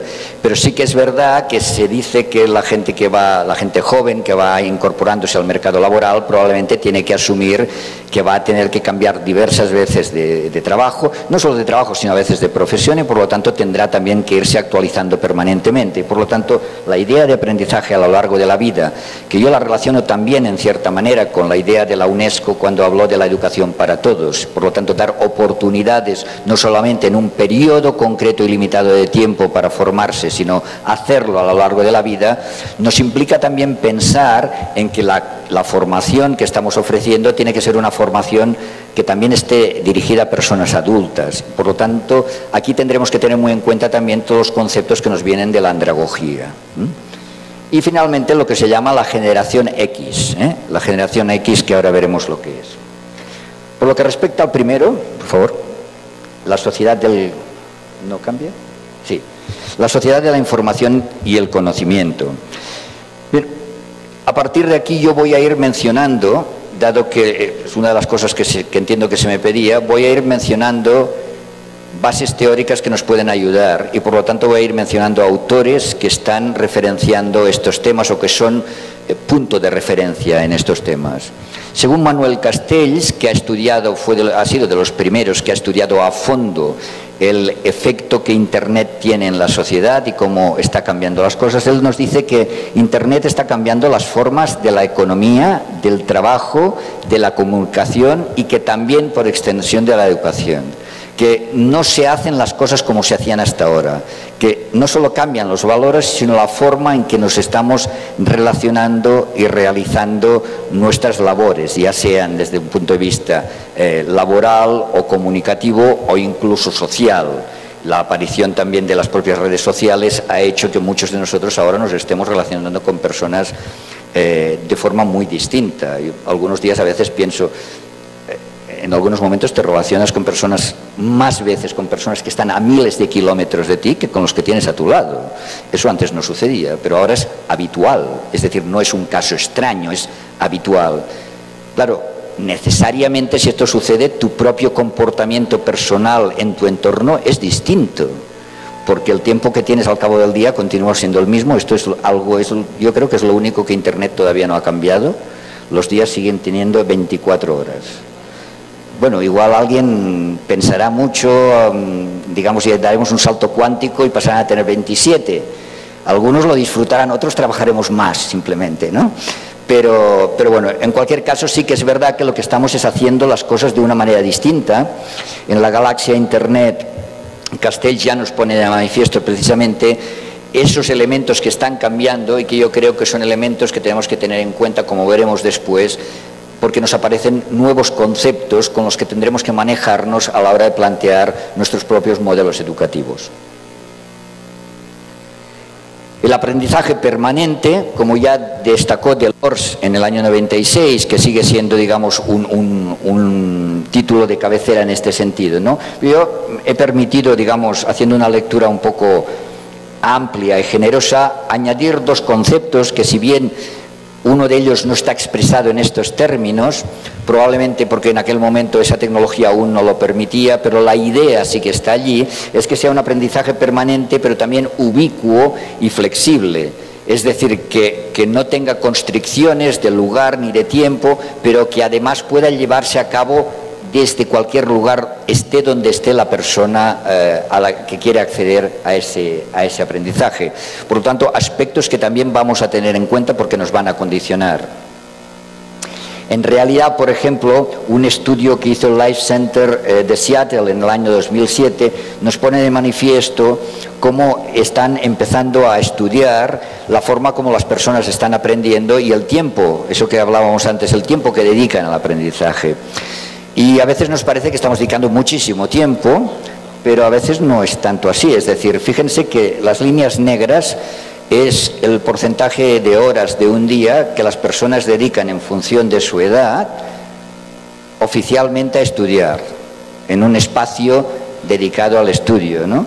Es decir, e, es un porcentaje pequeño y ese porcentaje se cuenta en función de 16 horas. Es decir, ya se reservan 8 para dormir, esas no se cuentan. Pero de las 16 horas restantes, esto en negro es lo que se va eh, desarrollando, es lo que vas utilizando de tu tiempo personal para estudiar oficialmente y cuando ya eres graduado, a partir de ahí entras en el mercado de trabajo, resulta que es muy intermitente. Claro, lo que planteaba ya este estudio es que probablemente esta franja gris es el potencial de aprendizaje que tienen las personas. Y por lo tanto pueden ustedes comprobar cómo distintos modelos educativos podrían permitir llenar todo, o en parte al menos, esa franja gris con aspectos eh, formativos, con aprendizaje. Por supuesto, el aprendizaje a lo largo de la vida también nos dice que no está tan claro que acabemos graduados y después ya trabajemos y después nos retiremos, sino que lo que va a significar es que, como decía antes, intermitentemente podemos ir pasando de trabajo a estudio o, aprendizaje o hacerlo simultáneamente, hacer simultáneamente ambas cosas. Claro, todo esto también nos va a condicionar en los modelos formativos que podamos proponer a las personas o que ellas mismas elijan en un momento determinado. La generación X tiene que ver con el concepto de nativos digitales que Prensky, que está citado aquí, empezó a acuñar en el año a principios del 2000 para identificar a aquellas personas que ya habían nacido en una época donde lo primero que iban a encontrar eh, en su vida era un instrumento tecnológico, de aquellos que podemos considerarnos inmigrantes digitales, ¿eh? aquellos que hemos llegado a un territorio nuevo e intentamos integrarnos y adaptarnos. Todos nosotros probablemente todos no, porque hay gente joven aquí, pero casi todos seríamos inmigrantes digitales, algunos teóricamente serían nativos digitales. Lo que Prensky planteaba, sin embargo, es que eso tiene que ver con lo que después Oblinger y Oblinger manifestaron y, titularon como generación X, que era la generación que había nacido en Estados Unidos a partir de 1982. Estudios posteriores han podido demostrar que no se trata tanto de cuándo naciste, sino de en qué contexto te has desarrollado para que te conviertas con más rapidez en un nativo digital o continúes siendo un inmigrante digital porque no interaccionas con los instrumentos de la misma forma. ¿De acuerdo? Pero sí que es verdad que entonces hay unas características que esa generación, insisto, con independencia del momento en el que nacieron, eh, tienen, ¿no? Y que están identificadas en el libro también de Tapscott, de Grow Out Digital, y es que son personas muy independientes que están buscando siempre iguales, peers, entre ellos para aprender, que confían más a veces en un colega que en un profesor, antes piden consejo a un colega que a un profesor, que sobre todo quieren un aprendizaje activo, que intentan evitar la teoría para practicar, no sé, yo a veces aquí pongo el ejemplo que cuando yo compraba un instrumento tecnológico, el que fuese, miren, hasta un microondas hace muchos años, eh, lo primero que ibas a hacer es a leer el manual, a ver cómo funcionaba aquello. Hoy en día la mayoría de muchachos y muchachas nunca miran un manual. De hecho, también están tan mal traducidos que no hace falta tampoco leérselos mucho porque te vas a equivocar. Pero en cualquier caso, ellos nunca miran un manual toman el instrumento, empiezan a trastear con él hasta que al final saben hacerlo funcionar. Por lo tanto, es una actitud distinta a la que probablemente muchos de nosotros hemos tenido cuando nos hemos enfrentado también a la tecnología. El concepto de bricoleurs o bricolaging, es decir, que toman elementos prestados de distintos ámbitos para construir un concepto nuevo o un elemento nuevo con el que trabajar, y la idea de multitarea, que son capaces, eso lo voy a decir entre paréntesis, de hacer muchas cosas a la vez. Es probable. Yo tengo alguna teoría personal, todavía no tengo evidencias empíricas de eso, pero que es probable que sean multitarea, pero que el nivel de desempeño de cada tarea, entonces nunca es a un nivel máximo, porque obviamente, digamos, hay una dispersión también de... Pero sí que hay más capacidad de hacer muchas cosas a la vez, eso sí que es cierto. ¿Sí? Por favor. Bien, por lo tanto, claro, como ya hemos visto también en el vídeo, mm, si, si a un niño desde pequeño, digamos, empieza a jugar en lugar de Aquí no sé si tienen este anuncio, el del palo que vemos a veces allí en España. si un niño empieza a jugar con un cochecito, con una pelota, con una muñeca, con lo que sea, pero en cambio en lugar de esto le damos una tableta, pues probablemente al cabo de cuatro días estará jugando con la tableta y será con lo que más le guste jugar. Por lo tanto, eso significa que nosotros también estamos de alguna forma condicionando su propio contexto de, crecimiento. Y a veces se dice que es que esto es gracias a la tecnología. Bueno, es gracias a la tecnología en parte, es gracias a que tú estás generando un determinado contexto que es favorable a eso. Bien, entonces vamos a la tercera fuente, hemos visto la psicológica, hemos visto la sociológica y vamos a ver la fuente económica. ¿Por qué identificar una fuente económica en la educación en línea? Porque a raíz de lo que les comentaba antes, de que en un momento determinado resulta que aparece la educación a distancia en línea o el e-learning como una gran expresión de modernidad en ese ámbito, muchísimas empresas lo ven como una gran oportunidad para ganar dinero.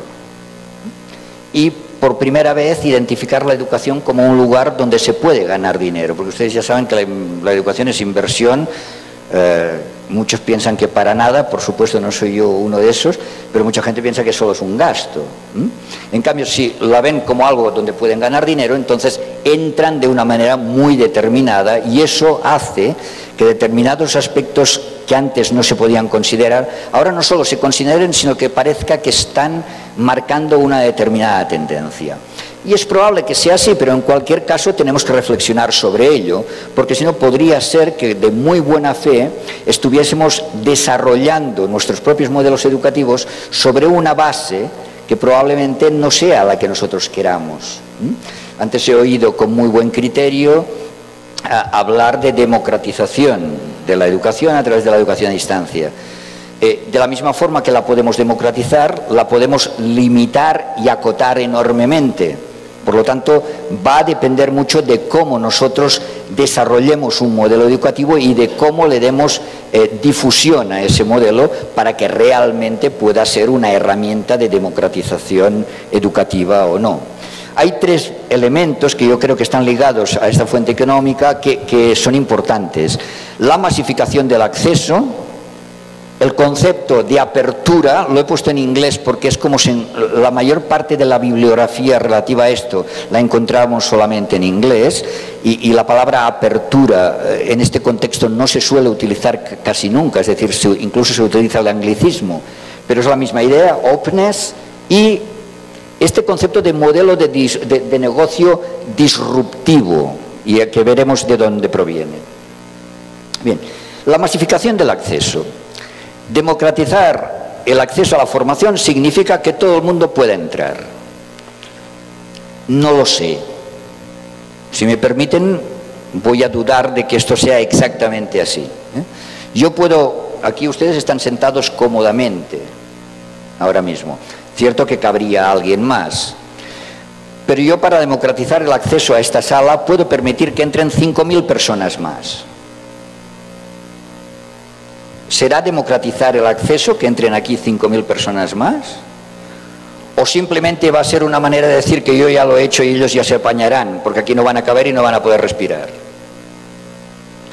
Por lo tanto, hay algún elemento que conviene reflexionar sobre él de manera muy importante. Este triángulo, que es el llamado triángulo de acero, Iron Triangle, que generó John Daniel en el año 99, identifica que hay tres, eh, tres ejes, tres ángulos de este triángulo que están íntimamente relacionados entre ellos.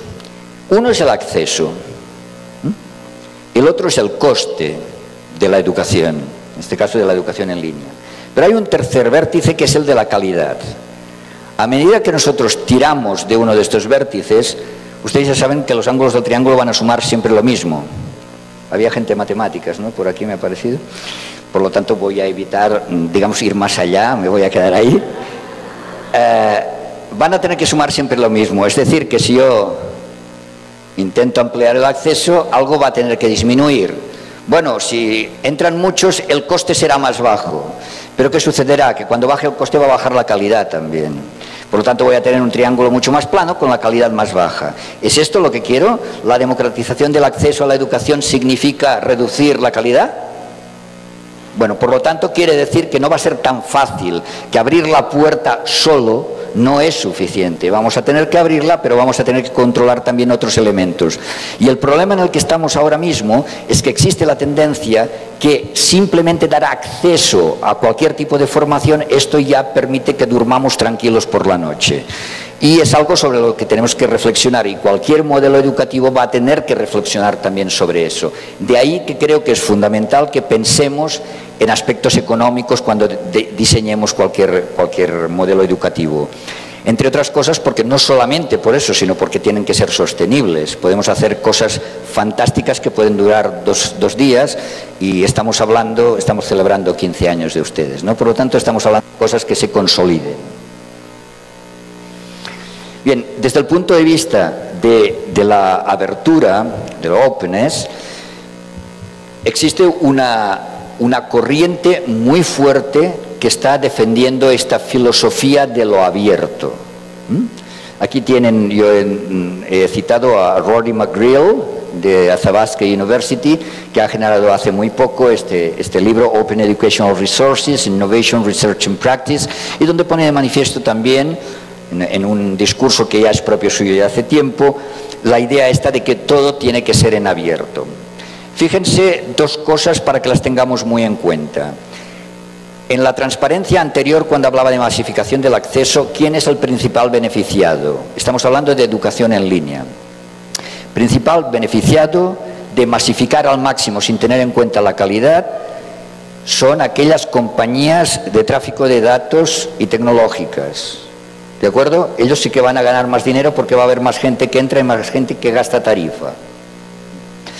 ¿Quién gana cuando hablamos de abertura? que se refiere fundamentalmente a los contenidos.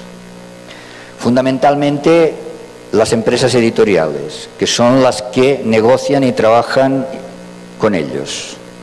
Por lo tanto, yo soy un firme defensor de la filosofía de la publicación en abierto, pero tenemos que ver qué es lo que significa y qué es lo que significa también para una institución, porque las instituciones van a, van a invertir en publicaciones y si estas publicaciones después no, pueden, no les puede revertir ningún beneficio, puede ser un problema. Sin embargo, también es cierto que si están abiertas, quiere decir que muchísima más gente va a acceder a ellas. Y el hecho de que se esté publicando en abierto está abriendo las oportunidades a muchísimas personas de acceder a, a estas publicaciones y a esta información. Publicar en redes sociales es otro de los elementos positivos en este sentido. Sin embargo, yo solamente aquí planteo una reflexión y es que la filosofía de lo abierto tendría que ir más allá de, del compromiso exclusivo del profesorado a publicar en abierto. No se le puede exigir solamente al profesorado que sea quien publique en abierto, cuando después aquella publicación, eh, si tú la quieres publicar en abierto, te hacen pagar dinero y eso no te lo va a cubrir nadie. Me estoy refiriendo a cuando tienes que publicar en una revista de prestigio, académica, etc. Por lo tanto, no se le puede exigir que el único que esté, eh, digamos, aireando la bandera de la, abertura, de la openness, sea solamente el profesorado, tiene que ser el conjunto de la institución si se toma esta decisión. Y por supuesto es una buena manera de pensar que incluso la investigación tendría que poderse presentar en abierto y que todos los datos con los que trabajamos pudiesen ser públicos también. Y bien, llegamos al punto de los modelos de, negocio disruptivos. Eh, Clayton Christensen fue el que acuñó el concepto este de innovación disruptiva. La innovación disruptiva plantea fundamentalmente hacer las cosas, hacer una misma cosa de una manera completamente diferente, de forma que reviente el modelo económico de la anterior y por lo tanto le gane el espacio que aquella tenía antes. Un ejemplo, Napster con la música. Es decir, yo genero un sistema por el cual puedo colgar mi música en la red y usted se la puede bajar y reviento el modelo de discográficas, como ha sucedido. Otro modelo, las compañías aéreas low cost. Yo utilizo un sistema distinto, compro aviones más baratos, hago los espacios entre asientos más estrechos, bajo los precios radicalmente, no hago grandes vuelos sino punto a punto cercanos y entonces esto rompe el modelo de negocio anterior que estaba estructurado. Es más, tiene más calidad o menos. Mm, esto no está relacionado, es decir, podría ser que algunos tuviesen más calidad, pero en general cuando tú bajas eh, los costes tienes un, perjuicio cualitativo en general. ¿no? ¿Está pasando en el ámbito educativo? Sí. En el momento que se ve que la educación en línea puede ser precisamente un negocio, aparecen las ideas que van hacia modelos disruptivos que rompan con los sistemas actuales. El concepto de MOOCs desde un punto de vista económico es exactamente esto ofrecer una cosa gratuitamente para romper un modelo de negocio anterior, digo de negocio que, es que puede ser gratuito también, es decir, la universidad pública es un modelo de negocio que puede ser completamente gratuito para los usuarios. Lo que sucede es que esto no, es, no, no lo hace una universidad pública necesariamente, lo hace una empresa y esa empresa entonces inicialmente lo ofrece gratuitamente porque hay algún otro beneficio que no está explicado detrás. En este caso, en el caso de los MOOCs, es el control de los datos de los usuarios, fundamentalmente. Sin embargo, es cierto que los modelos disruptivos los que están aportando es imaginación y creatividad para enfocar los sistemas educativos seguramente de una forma muy distinta. Y cada una de estas experiencias, aunque la experiencia de aprendizaje no haya sido exitosa, Quizás sí que lo ha sido la experiencia de la propia iniciativa para identificar oportunidades de generar sistemas de formación que sean distintos y que puedan ser mm, incluso más aceptables por los usuarios también. Bien, todo esto, toda esta situación, todos estos eh, elementos que he comentado nos llevan a nuevos conceptos, que son aquellos conceptos con los cuales tendríamos que, jugar para desarrollar nuestros propios modelos, tendrían que ser la base sobre los que respondiese la educación en línea. Sí. El primero de todos es la flexibilidad y no es nuevo, probablemente es de los más antiguos, ¿no? pero es cierto que la flexibilidad eh, se nos abre como un elemento fundamental y en cierta manera nuevo cuando aparecen, como he dicho antes, en los 90 eh, los entornos virtuales de aprendizaje. Antes, hasta entonces la flexibilidad era de tiempo o de espacio, pero las dos a la vez costaba mucho.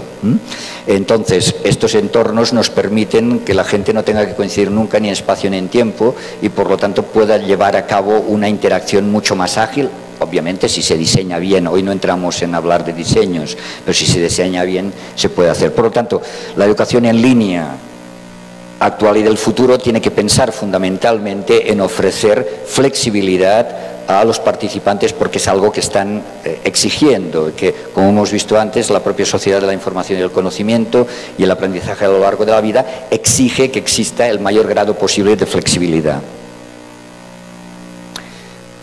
Perdón, en cada uno de ellos verán que aparece unas personas que son la referencia sobre el, concepto que les expreso. En este caso, Birch, Campbell, Gibson y Gibson, en uno de sus últimos eh, mm, de sus últimas publicaciones en el 2011.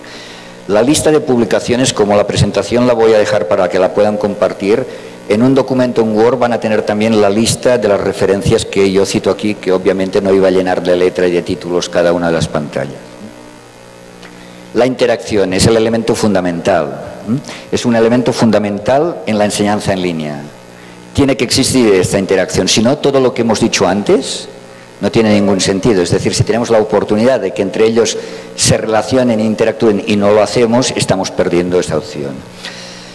Ante eso, y, después de haber dicho las opciones que nos da, por ejemplo, los sistemas, algunos de estos sistemas nuevos que han salido como los MOOCs, los MOOCs tienen mucho potencial, pero por ejemplo los X MOOCs, que son la mayoría, tienen un gran problema y es que la interacción prácticamente no se lleva a cabo. Por lo tanto, resulta que uno de los peligros que hay es que identifiquemos propuestas que teóricamente son innovadoras porque le hemos colocado una etiqueta, como les decía antes, de innovación, pero que sin embargo respondan a modelos conductistas y eh, en cualquier caso no tengan en cuenta la interacción que es lo que estamos buscando. Por lo tanto, digamos que no nos hagamos trampas al solitario ¿no? y no, nos estemos digamos, engañando a nosotros mismos en ese sentido. En cuanto a interacción, verán que aparece eh, Garrison y Anderson fundamentalmente en una nueva edición de su libro E-Learning for the 21st Century, eh, porque ellos hablan también de cómo desarrollar lo que se llama la Community of Inquiry, que es desde donde profesor y estudiantes pueden participar eh, interaccionando y, e identificando tanto una presencia docente, una presencia social y una presencia cognitiva en, ese entorno interactivo. La personalización es otro de los elementos eh, que, se, que, se, exigen, ¿no? es decir, que cada uno pueda formarse en aquello que tiene necesidad y ahí tener en cuenta también otro aspecto importante. Eh, se nos dice a menudo que se tiene que personalizar porque sobre todo tiene que responder nuestra, la educación que ofrezcamos a aquello que demanda la sociedad. Yo a veces me pregunto qué es lo que demanda la sociedad, porque a veces me encuentro en muchos documentos que lo que demanda la sociedad es simplemente lo que demanda una, dos o tres empresas determinadas. Yo no sé si eso es la sociedad, seguro que es una parte de la sociedad, pero si nos referimos solo a eso, ¿estamos respondiendo a las necesidades sociales realmente o solamente a una parte? Por lo tanto, a la hora, de nuevo, de definir cuál es la misión y la visión de un modelo educativo en línea, identificar a quién nos estamos dirigiendo y por qué nos estamos dirigiendo o para qué nos estamos dirigiendo a estas personas. Aquí eh, citamos a Bachem, Atwell y Torres Compen, eh, que han desarrollado también distintos estudios, especialmente Atwell, sobre lo que puede ser la personalización. Una advertencia, cuando hablo de personalización, yo no estoy hablando de otro enfoque de la personalización que es mucho más tecnológica. Hay quien entiende la personalización aplicando o desarrollando aplicativos eh, tecnológicos como los que si ustedes van a comprar, por ejemplo, a una librería electrónica, cuando ustedes consultan un libro, al lado les salen tres o cuatro libros que, libros que tienen la misma temática que el que ustedes están buscando. ¿no? Si ustedes compran uno, la siguiente vez que entren, le va a salir todos los libros del mismo autor que usted ha comprado. Porque se lo personalizan. O sea, saben que a usted le gusta aquel autor y por lo tanto ya le ponen... Esto también pasa con Spotify y con todo esto te aparecen las, los cantantes o canciones que pueden ser de un mismo tema, etcétera de un mismo tipo. Eh, ¿Qué sucede? El aprendizaje no funciona exactamente así. Es decir, tú cuando quieres personalizar algo, la máquina difícilmente sabe, digamos, lo que has hecho tú antes o no has hecho, qué es lo que sabes y lo que no sabes todavía.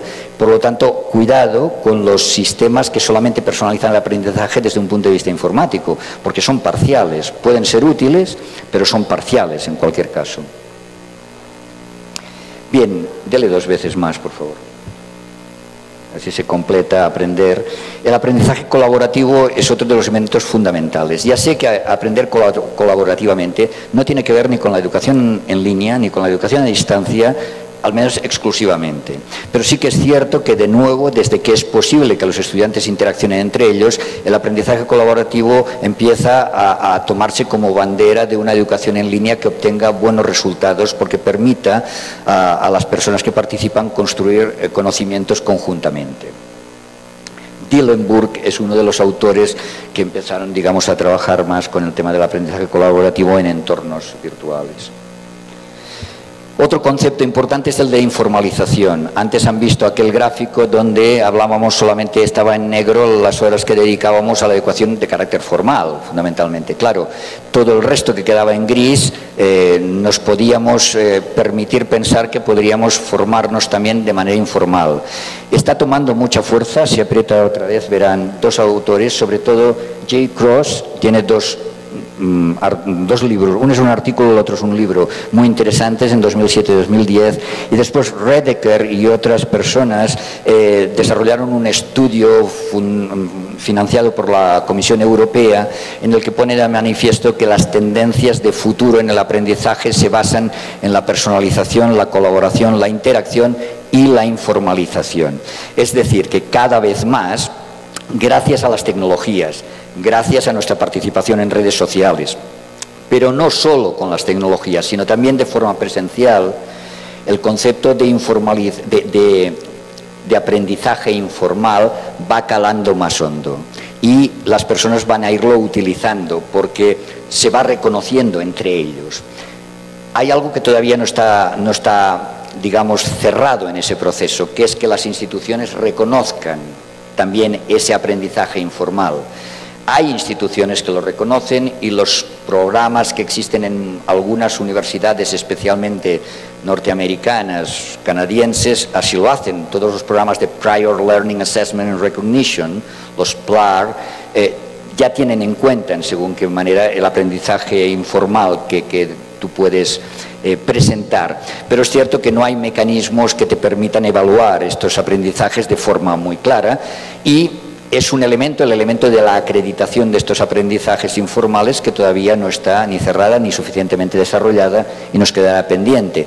Pero cualquier, insisto, modelo de educación en línea tendría que tener en cuenta que probablemente mm, todo ya no se cierre ni entre las paredes de la institución ni entre las paredes del entorno virtual, sino que, que como hay vida más allá, tendremos que tenerlo en cuenta de alguna manera porque está cobrando más protagonismo del que había cobrado hasta ahora.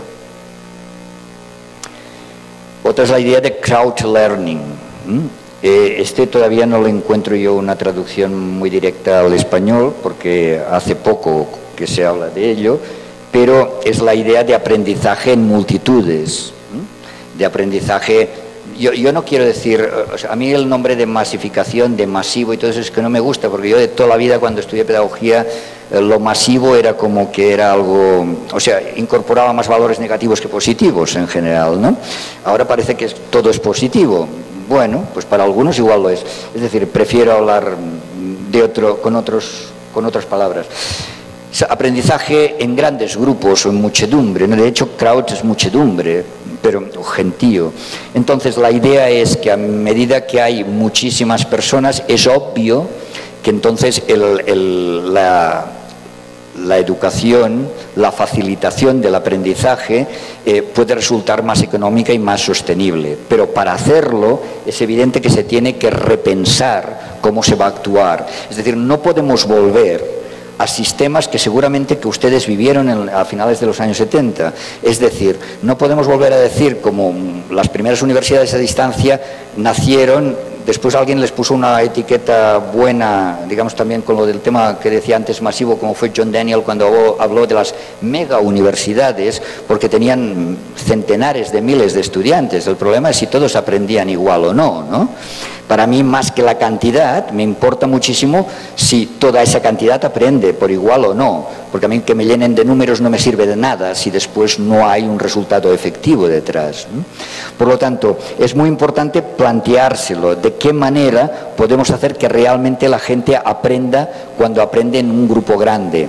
Y seguramente todo lo que hemos dicho ya antes sobre la interacción, sobre esas capacidades, nos va a poder ayudar a ello. En cualquier caso, Aquí le recomiendo el libro de, John Drone y Terry Anderson, eh, que se llama Teaching Crowds, que son los primeros que han empezado a aportar algunas ideas y algunas contribuciones en ese sentido. Aparecen nuevos escenarios de aprendizaje. Tenemos los antiguos. ¿eh? Todos estos escenarios los hemos vivido todos nosotros In Sung Jun y Lachem o, Ross Looking han puesto de manifiesto la importancia de tener en cuenta que se está aprendiendo en escenarios, digamos, que se mezclan, que se expanden, porque las tecnologías nos han permitido que nuestro escenario no sea, por ejemplo, nuestra aula de clase o el comedor de nuestra casa, sino que, como hemos dicho al principio, se expandan y, por lo tanto, nuestra interacción pueda ser con muchísimas personas de muchísimos lugares. Esto exige también un, un enfoque eh, absolutamente diferenciado y preciso. Porque además estos nuevos escenarios reciben la visita y el apoyo de tecnologías emergentes. En el libro de, George Velezianos de 2010, Emerging Technologies, creo que es un buen ejemplo de cómo estamos recibiendo nuevas tecnologías que nos pueden ayudar, a, incorporadas en estos nuevos escenarios de aprendizaje, a generar espacios que nos permitan compartir el conocimiento también de, de forma distinta. Aquí hay unas cuantas, problema de las tecnologías emergentes es que hoy ya es obsoleto la presentación y cuando la cambie hoy ya será obsoleta mañana, ¿no? Pero en cualquier caso es saber y tener la cintura suficiente como para poder desarrollar modelos de educación en línea que sean capaces de integrar las tecnologías emergentes sin necesidad de cambiar, digamos, la, la visión que tiene la propia, la propia y la misión que tiene la propia educación. Una de las opciones en la que aquí, sí, por favor, a partir de los trabajos de Bridget Barron, de John Seeley Brown, de Norman Jackson, estamos trabajando juntamente también con la profesora González Amamet y con Monse Gitter en el concepto este de ecologías de aprendizaje, que intenta de alguna forma reunir las reflexiones anteriores, es decir, espacios donde existen distintas oportunidades de aprendizaje, donde hay escenarios distintos y donde la persona puede tomar decisiones sobre qué oportunidad de aprendizaje va a activar. Algunas serán presenciales, otras no presenciales. Pueden ser formales, no formales e informales. Todo va a estar bastante mezclado. Separarlo va a ser enormemente difícil y por lo tanto cualquier modelo de educación en línea va a tener que tener en cuenta eso. Permítanme añadir entre paréntesis que yo creo personalmente que cualquier modelo de educación ya no pongo en línea, de educación, va a tener que tener en cuenta eso en el futuro. Más tarde o más temprano, pero va a tener que tenerlo en cuenta, porque es lo que sucede ahí fuera. Y, por lo tanto, nosotros no lo vamos a poder frenar, lo vamos a poder retardar, pero frenar probablemente no. Lo único que yo siempre recomiendo es que tengamos siempre un ojo bien abierto a la idea esta de ver quién es el beneficiado de según qué acciones que nosotros desarrollemos. Es decir, porque no es oro todo lo que reluce siempre. Y a veces nos parece que aquella tecnología que es tan fantástica... Bueno, ¿qué les voy a contar? ¿Cuántos de ustedes tienen materiales en Dropbox? ¿Cuántos han tenido que pagar la actualización? Porque ya se les acabó el espacio, ¿verdad? Y cuando ya lo tenían todo dentro, entonces ya dejaba de ser gratuito. Si lo querían más grande ya se tenía que pagar. Claro, es que es cada día, ¿no? Es cada día que esto sucede en distintos ámbitos, ¿no? Entonces dices, bueno, pero es que es poco, son 100 dólares al año. Sí, es verdad. Más 100 de otra cosa, más 100 de tener el Skype Premium, más 100 de tener el otro Premium, más 100... ¿Me explico? Por lo tanto, al final resulta que todo esto se está desplazando hacia el usuario y en este caso también hacia el docente.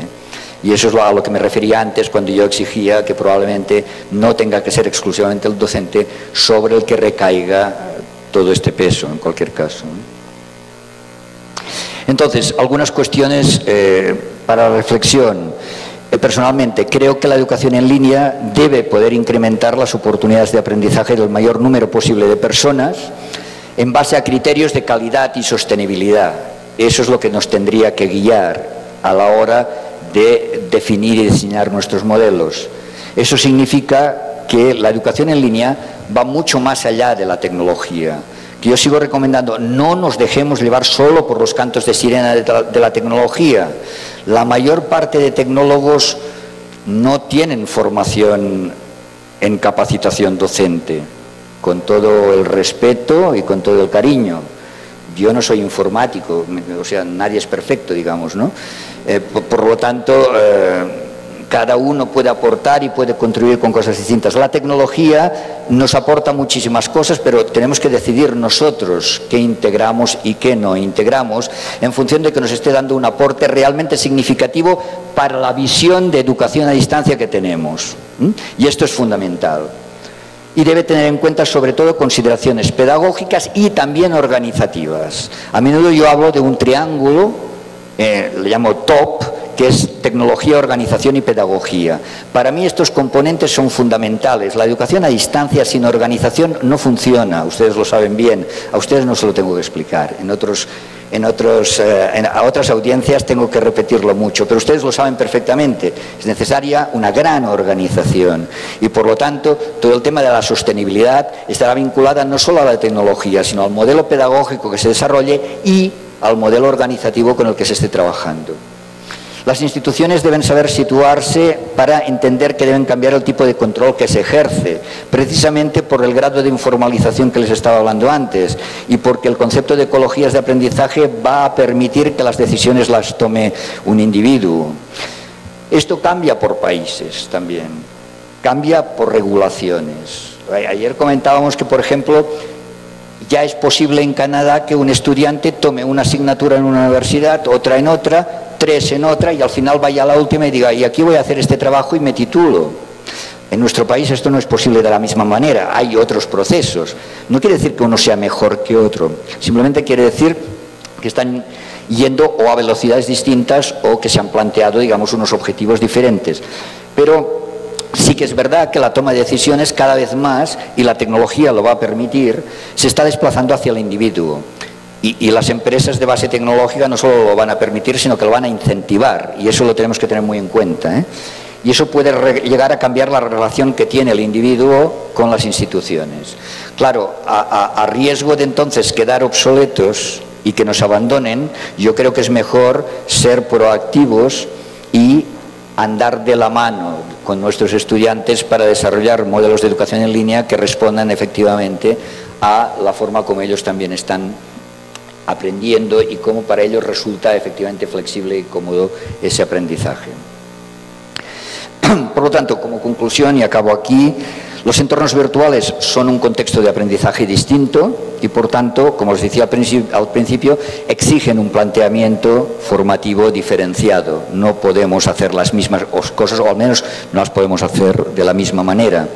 Existe conocimiento disponible para llevar a cabo esta nueva visión de la educación en línea y con esto un poco quería responder, de hecho, a la pregunta. Sí que existe, eh, debe existir, sí, debe existir. En parte existe, pero lo que es fundamental es que continúe existiendo y por lo tanto ahí eh, hago un llamado a que la investigación en educación en línea, y dado que ustedes han dicho también que van a trabajar más intensamente en esta línea, la investigación en educación en línea tiene que preocuparse por seguir manteniendo alto el nivel de conocimiento disponible que tengamos en este, en este ámbito de trabajo nuestro. Esta visión pues, debe centrarse en ofrecer también una educación equitativa y de calidad. Para mí eso significa democratizar la educación mediante un uso razonado y sostenible del papel importantísimo que está jugando la tecnología. El aprendizaje está cambiando, esto está claro. Por lo tanto, nosotros necesariamente vamos a tener que cambiar algo también, lo cual no significa que nuestro valor pierda, o sea, que nosotros perdamos ese valor, sino simplemente tenemos que entender qué está sucediendo y por qué está sucediendo. Y eso solo nos, lo da la observación atenta y el estudio pormenorizado de todos estos procesos. Y nada más, me gustará saber sus comentarios, cualquier pregunta, con mucho gusto. Muchísimas gracias.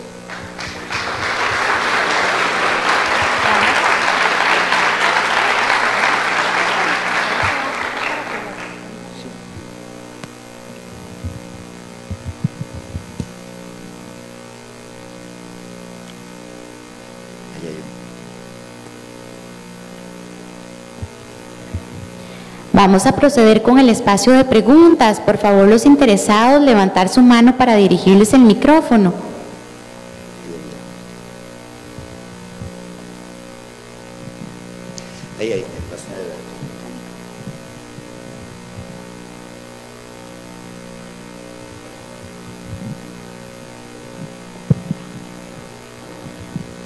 Bueno, buenos días. Primero agradecer a los compañeros por la invitación y agradecer al doctor por sus, eh, compartir sus conocimientos y quería consultarle con respecto a lo que usted hablaba sobre esa ecología de aprendizaje. Por ejemplo, en el trabajo que se hacen en los, los que se llaman los PLE, los que ahora se lo mencionaba, los Personal Learning Environments,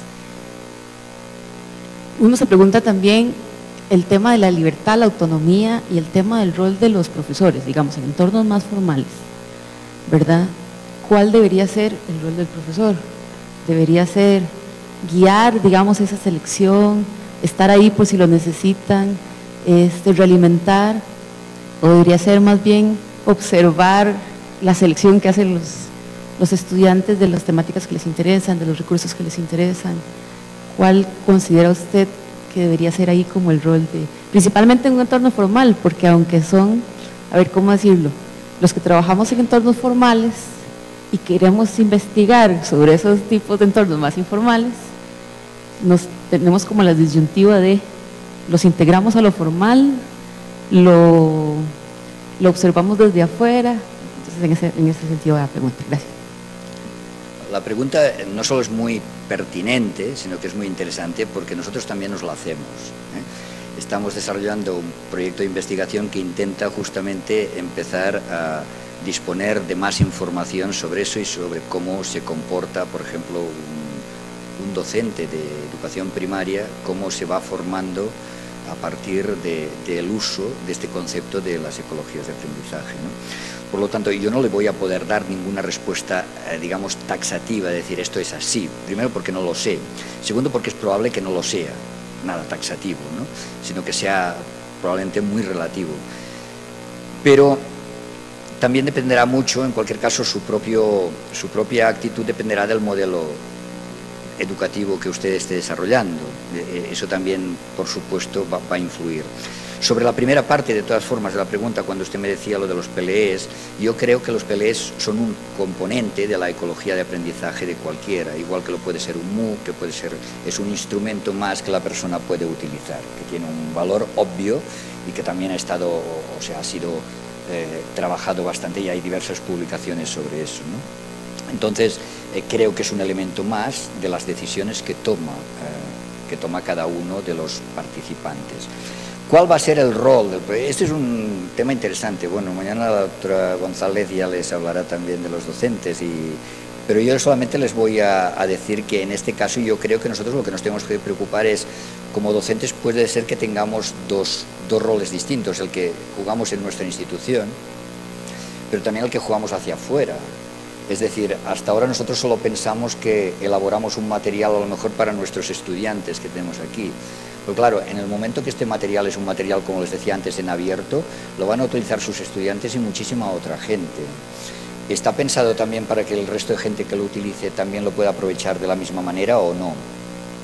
Los materiales o los recursos, los todos los recursos que pueden encontrar las personas y esas oportunidades que se pueden generar, ¿están realmente diseñadas para que se puedan utilizar por su cuenta o no? Ese, es nuestro rol también. Es decir, eh, cuando nosotros hablamos de autoaprendizaje, por ejemplo, o autoformación, nosotros podemos mandar a vaya a la biblioteca y empiecen a leer libros, o los podemos guiar, o podemos hacer recomendaciones, o podemos elaborar síntesis de determinados libros para que vayan más orientados en función. ese es el rol que yo creo que va a ir cambiando de los profesores, es decir, la elaboración propia de, efectivamente, como ha dicho usted, de facilitar, de darles guía, de eso que ya llevamos unos cuantos años diciendo, pero que no lo acabamos de hacer del todo, digamos, ¿no? Y no lo acabamos de hacer del todo porque hay este componente de control que nosotros queremos tener y que es muy comprensible que queramos tenerlo, porque al final también los vamos a tener que evaluar. Lo que sucede es que cuando esto sucede, sucede fuera, quizás no vamos a ser nosotros quien los evalúe, los va a evaluar alguien más o no, o no, no lo sabemos todavía. Y esto solamente se está abriendo ahora todo esto. Por eso yo les decía que un tema muy está latente y que no está resuelto es todo el tema de las acreditaciones, por ejemplo, que veremos cómo se resuelve, porque aquí también hay muchos intereses creados de distinto tipo y por lo tanto ya veremos cuál es la solución final. Yo lo que creo es que entonces el docente lo que tiene que pensar es que las personas, los individuos, se van a mover y van a tomar decisiones en sus propias ecologías. ¿Cómo podemos influir en esas ecologías? Pues poniendo a su alcance buenos materiales, buenos contenidos o buenos cursos que se puedan desarrollar o si estamos decididos a hacer MOOCs, MOOCs que realmente permitan aprender de verdad algo y que sean eh, lo más interactivos posible. Alguien me decía, claro, pero es que la gente hará lo que quiera ya, pero nosotros sabemos perfectamente que podemos diseñar un MOOC para que la gente tenga necesariamente que interactuar entre ellos o que no sea necesario. Por lo tanto, los que sabemos diseñar eh, eh, cursos o sabemos diseñar procesos educativos, sabemos hacia dónde orientar las cosas para que lleguen a un determinado lugar. Después podemos dar todo el margen, eh, digamos, de libertad que queramos. Y cuando usted me hablaba de la autonomía, es que, claro, la tendencia que tenemos de sociedad la información, aprendizaje a lo largo de la vida, es que vamos hacia la autonomía del estudiante, que a veces el estudiante no la quiere, esa es otra. Esa es otra. A veces no la quiere porque es muchísimo más cómodo hacer lo que te digan que tú tener que, digamos, poner de tu parte para ver hacia dónde quieres ir y de qué manera quieres llegar. Pero claro, esto también irá, irá avanzando, irá sucediendo. Es decir, aquí yo también lo que he intentado es eh, hacer una cierta perspectiva de hacia dónde se está moviendo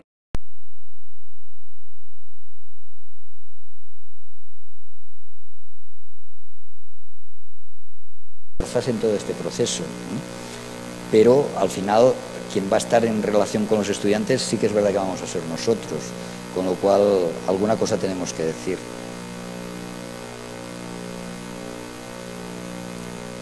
Funciona. Ah, eh, buenos días, don Albert. Eh, yo soy William Delgado del Tecnológico. Eh, a mí me llama mucho la atención una propuesta cuando tenemos contextos que tienen sensibilidad para lo que es un entorno virtual.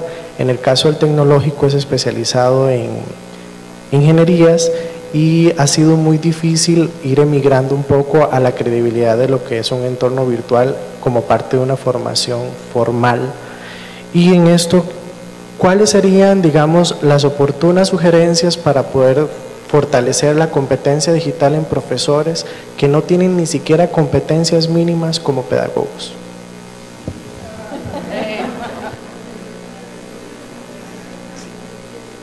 Me lo pone muy difícil, ¿eh? No, pero ¿tienen algo?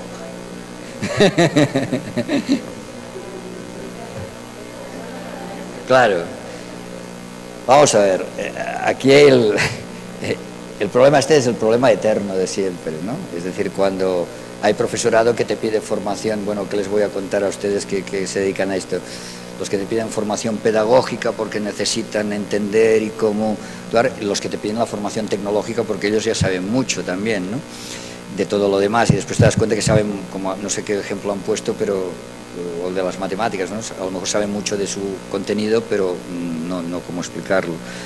Yo creo que se tienen que desarrollar programas probablemente que sean lo más integrados posible, en la medida de lo posible, ¿no?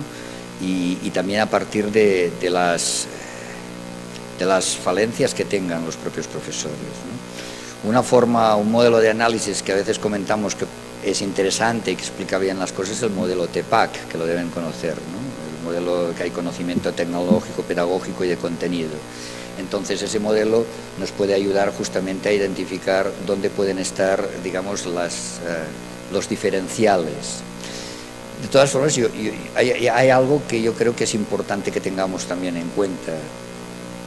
Los docentes no somos ni superhombres ni supermujeres, aunque a veces creen, algunos creen que sí, ¿eh? Y, nos tratan así, ¿eh? nos dicen, oiga, con nada tiene que hacerlo todo. Pero habrá personas que tecnológicamente, porque su, formación son muy buenos y que pedagógicamente tendrán, tendrán dificultades. Y, al revés. Entonces, eso significa que a, estas personas conviene reforzarles mucho el aspecto pedagógico y a otras el aspecto tecnológico, pero lo que no tienen que hacer es los de humanidades o los que conocen mucha pedagogía convertirse en tecnólogos, ni los tecnólogos se tienen que convertir en pedagogos, tienen que tener conocimiento suficiente para poder desarrollar su trabajo. Yo acostumbro a recomendar algo que es muy difícil de hacer, ¿eh? ya lo digo de entrada, y es trabajar por equipos multidisciplinares, porque eso te permite equilibrar los diferenciales que tiene cada uno, sin necesidad de convertirte en el superhombre que además de ser un experto en arte, también es un experto en las últimas tecnologías, sabe estadística como el primero, tiene... ¿Me explico? Sí que hay algunas personas así, no lo dudo, ¿eh? no lo dudo, y, suerte que tenemos que las haya, pero, pero no podemos pretender que todos nuestros equipos sean así, porque no lo vamos a conseguir. Entonces, gestionar equipos multidisciplinarios que sean capaces de trabajar conjuntamente, que eso además nos podría permitir una cierta transversalidad en el, desarrollo de los propios cursos y los propios contenidos, que es un tema interesante también a menudo, sería una forma, digamos, de, poderlo enfocar. Pero insisto, me ha hecho la pregunta, digamos, de aquellas preguntas que ya sabes que no vas a poder dar una respuesta eh, válida para todo el mundo, seguro, ¿eh? porque es difícil, es difícil, verdaderamente. Días. Eh, muchas gracias por el eh, maravilloso conocimiento que nos ha, nos ha brindado esta mañana. Eh, yo trabajo en la Asamblea Legislativa acá en Costa Rica y estamos tratando de impulsar un programa de gestión del conocimiento con el, modelo de Nonaka y Takeuchi y quisiéramos trabajarlo de manera virtual. Em, yo quisiera preguntarle desde el modelo pedagógico que usted ha comentado, ¿hay alguna recomendación que usted pudiera hacer diferente a esto? Porque efectivamente el modelo de gestión del conocimiento conlleva sistematizar la experiencia y el conocimiento de expertos y expertas que hay en la institución, que es muy valioso y por ser tan particular eh, es parte de lo que nosotros quisiéramos rescatar, pero es costoso. ¿verdad? Porque hay que tomar el tiempo, tiene que haber gente que sistematice y además hay que eh, ponerlo en un modelo o en un enfoque más pedagógico. ¿Habría alguna recomendación que usted nos pudiera hacer? Muchas gracias. Históricamente, desde que se habla del knowledge management, de la gestión del conocimiento, algunos han intentado equipararlo a procesos de aprendizaje, pero es que no siempre funciona así. Es decir, a menudo la idea de gestión del conocimiento, las corporaciones han pretendido simplemente recoger aquel conocimiento que tenían determinadas personas para que si las personas se iban de la institución eh, continuase. Y lo que pasa es que hay una parte de ese conocimiento que no queda en ningún sitio porque es muy difícil, ¿no? Es muy difícil poderla simplemente escribir porque incluso digamos lo que queda es la vivencia también y esa vivencia es difícil de traspasar a no ser que sea eh, a través de trabajo en grupos y, de compartir digamos en cierta manera estas experiencias a través de equipos. Entonces, eh, buscar un mecanismo de educación en línea para, para este modelo que ustedes dicen, eh, necesitaríamos ver qué es lo que tiene que aprender o no aprender cada uno de ellos. Porque si no volvemos otra vez, digamos, el, modelo que usted cuenta, yo, yo no lo conozco a fondo, pero sí que es un, digamos, desarrolla un análisis determinado del conocimiento y cómo tiene que tratarse y en, y en qué momentos y desde qué agentes se pueden conseguir.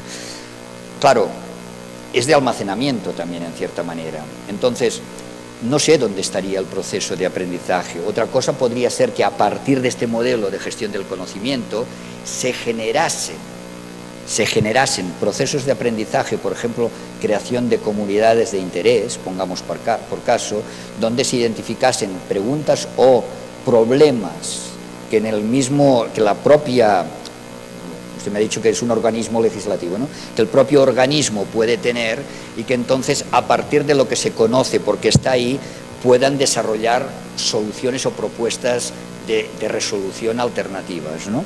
Entonces esto, más que un proceso, digamos, de, aprendizaje en línea, es un proceso de comunicación en línea y de intercambio. Sí que es verdad que, por ejemplo, yo le diría que a lo mejor el modelo de Community of Inquiry de Garrison y Anderson les podría servir si su objetivo si su objetivo no es hacer que aprendan unos conocimientos básicos determinados, sino que interactúen y diseminen el mismo conocimiento entre las distintas personas que forman parte de la organización, que entiendo que debe ser fundamentalmente el objetivo. Eso podría ser, es decir, se tendría que hacer una adaptación en todo caso, para simplificarla un tanto.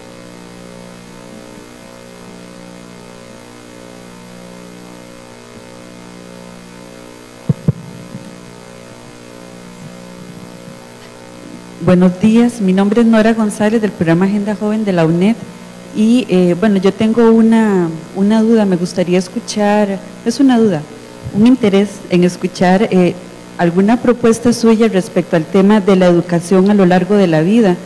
Em, ¿Cómo podríamos garantizar una educación a lo largo de la vida, sobre todo en poblaciones menos educadas y con más, eh, menor acceso a, qué sé yo, redes eh, de información, a internet, eh, y que no tienen las competencias para estar pensando en la importancia de, de estar actualizándose y pensando en que los conocimientos permanentemente van cambiando, el requerimiento laboral también se va actualizando vertiginosamente y este bueno y son poblaciones que eventualmente dependiendo de la que estemos hablando podría quedar excluida casi que de una forma analfabeta si no ha tenido un periodo de actualización de 30, 40 años.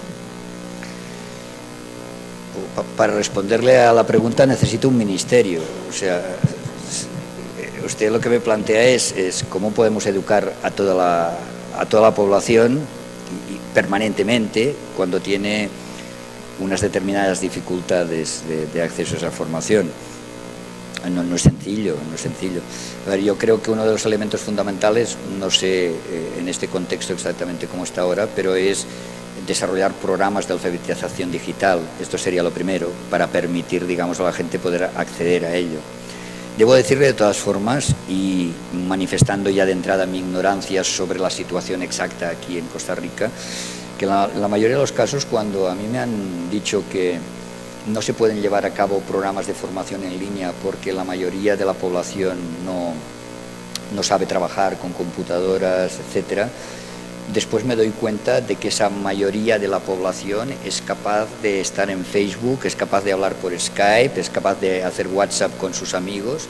Por lo tanto, quiere decir que el potencial existe y las ganas también. Probablemente lo que no tienen es ganas de aprender o de estudiar y eso es otra cosa que no se resuelve con la tecnología. Eh, entonces yo creo que ah, si el problema fuese que realmente tienen dificultades porque no están capacitados para utilizar estas redes sociales o no acceden a ellos, tiene que haber programas, primero de alfabetización digital, programas que permitan que las redes lleguen a todo el mundo y entonces a partir de ahí es cuando se pueden empezar a generar recursos y materiales que puedan motivar a esas personas cuando empiezan por la comunicación entre iguales y por comunicarse, interactuar con amigos y conocidos, etcétera, que eh, se les despierte la motivación también por, por aprender. Ah, hay una cosa que eso lo, aprendí de manera muy clara una vez que estuve durante un periodo de tiempo en, Corea del Sur. Ellos distinguían muy claramente lo que llamaban educación eh, a lo largo de la vida y aprendizaje a lo largo de la vida. y decían, la educación a lo largo de la vida es responsabilidad del gobierno, el aprendizaje a lo largo de la vida es responsabilidad de cada persona. Pero claro, para ello, en la escuela les enseñaban a que después ellos tenían que ser responsables de aprender a lo largo de la vida. Entonces, probablemente por eso le he hecho la broma de que necesitaría un ministerio, porque yo creo que esto se tendría que ordenar adecuadamente. Ordenar adecuadamente e identificar cuál es el nivel que ustedes tienen en este momento para poder dar una respuesta que cubriese todos los bloques necesarios para que esto pudiese funcionar, porque probablemente con una iniciativa puntual y, simple, bueno, seguramente estaríamos contentos los que lo hiciesen, pero, pero nada más.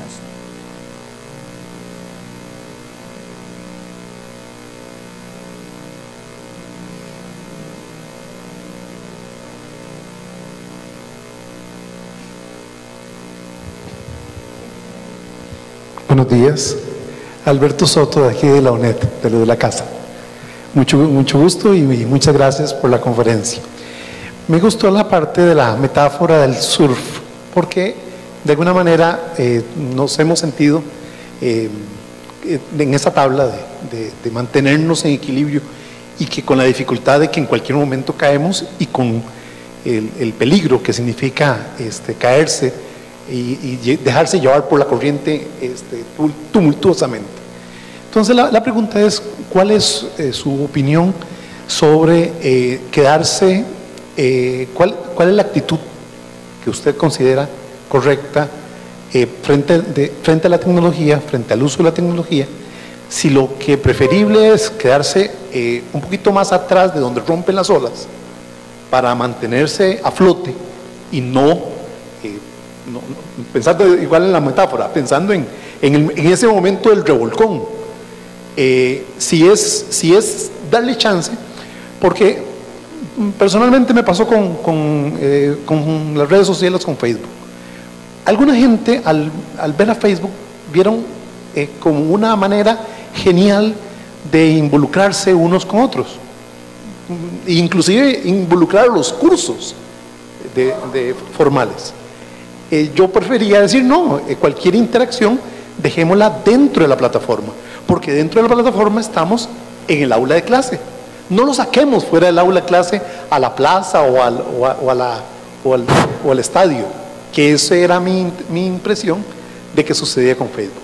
Entonces la, pregunta es, ¿cuál es su opinión en, la actitud de eh, cuál es la tecnología y cómo debe usarse y no dejarse llevar por la por la, por la tendencia que pareciera más, eh, más atractiva.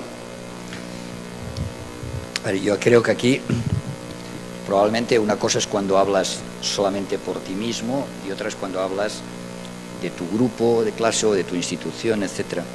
Yo creo que entonces eh, lo que tienes, desde mi punto de vista, que hacer es como cuando vas de exploración, que dos vayan delante y los demás ya llegaremos, ¿no? Es decir, que dos prueben cómo rompen las olas, que dos, digo dos por no decir cinco o siete, los que sé, ¿no? Es decir, que algunos pocos vayan a ver qué sucede allí delante y si hay alguna oportunidad. Y si hay alguna oportunidad ya la reaprovecharemos entonces. Lo que no podemos hacer es mandarlos a todos a romper las olas, porque entonces, bueno, nos quedamos sin tablas, ya no volvemos, ¿no?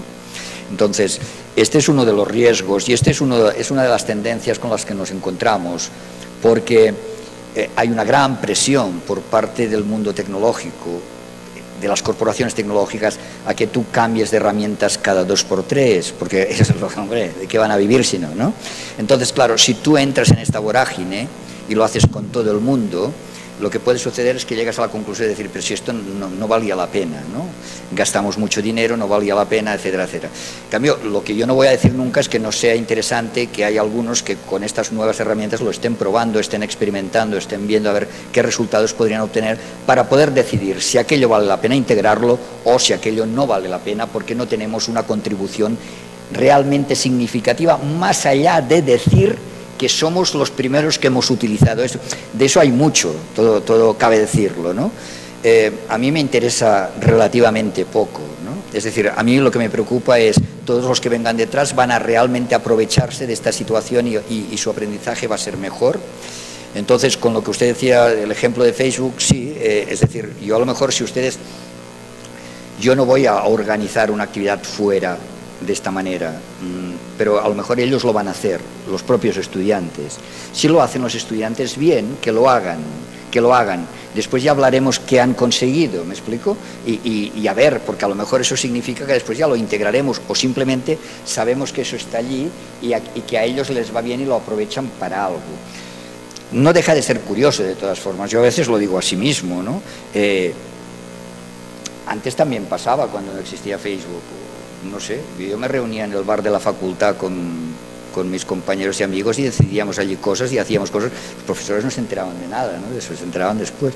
Pero quiero decir que eso puede pasar igual, pueden estar en Facebook, pueden tener lo que quieran. Otra cosa es que tú tomes la iniciativa de, salir fuera, tiene que ser algo realmente valioso, con una contribución real a su proceso de aprendizaje, no simplemente porque vamos a utilizar otra herramienta.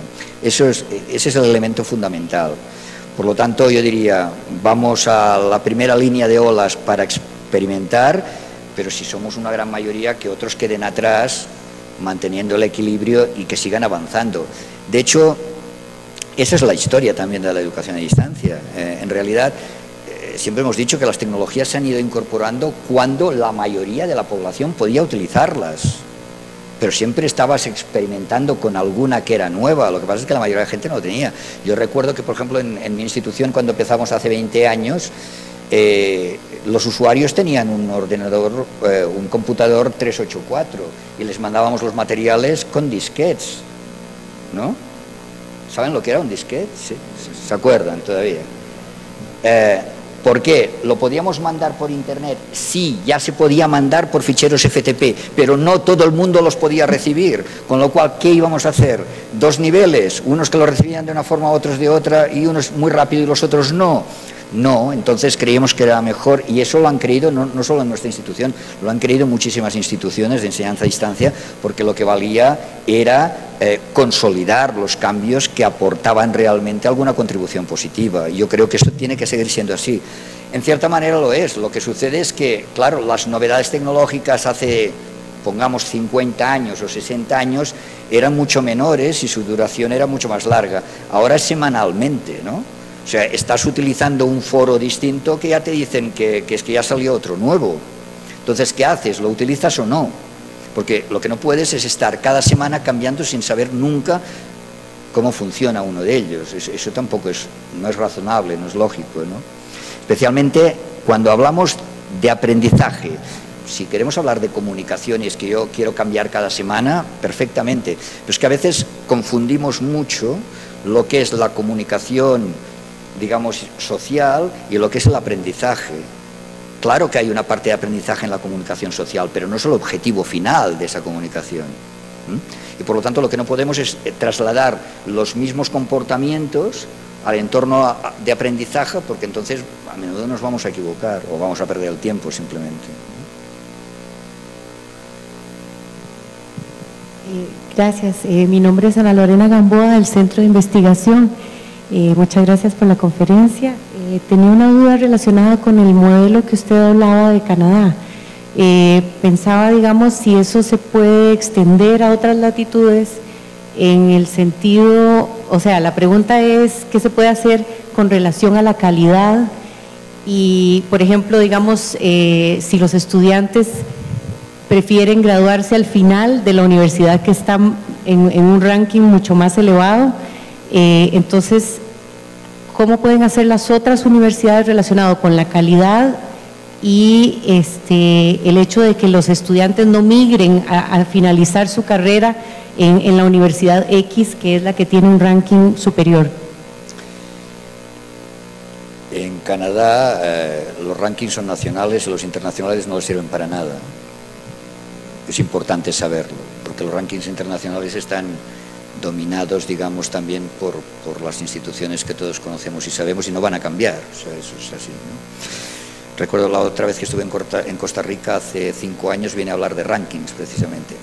Y, y, eso es así, es decir, entonces, claro, ¿qué han, han, decidido ellos? Pues que estos rankings no les informan de nada. Eh, los estudiantes, por supuesto, esto es un acuerdo interno, es decir, yo no puedo influir en los acuerdos de cada país y porque además cada país tendrá una estructura distinta y puede ser más fácil o más complicado hacerlo. Por lo tanto, digamos, no quiero decir que eso tenga necesariamente que ser exactamente idéntico en todos sitios. He hablado que es una tendencia que creo que cada vez será mayor, pero es mayor por, por una cuestión también de flexibilidad y porque algunos de estos estudiantes se van a otros lugares, por ejemplo. ¿no? Pero hay unas condiciones que tienen que cumplir y las tienen que cumplir todas las universidades. También es verdad que unas universidades van a ser más caras que otras, entonces, como siempre, eh, las universidades, digamos, con mayor ranking solo van los que pueden pagarlas. Esa es la realidad. ¿eh? Entonces, eh, funciona de una manera muy simple. en Canadá existe la oficina de aprendizaje de Open Learning Agency, y ellos tienen los criterios de qué ofrecen todas las universidades y cuáles son las, materias, los cursos que se pueden ellos inscribir. Entonces, cuando se inscriben en un curso, aquel curso les sirve para su currículum, es decir, su, su, plan de estudios personal.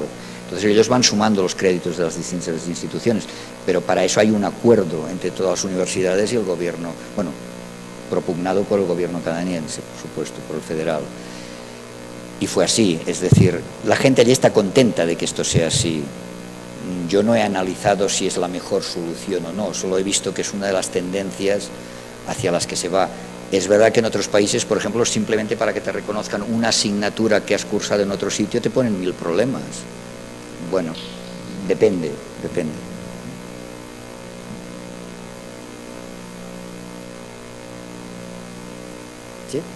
Pues muchísimas gracias.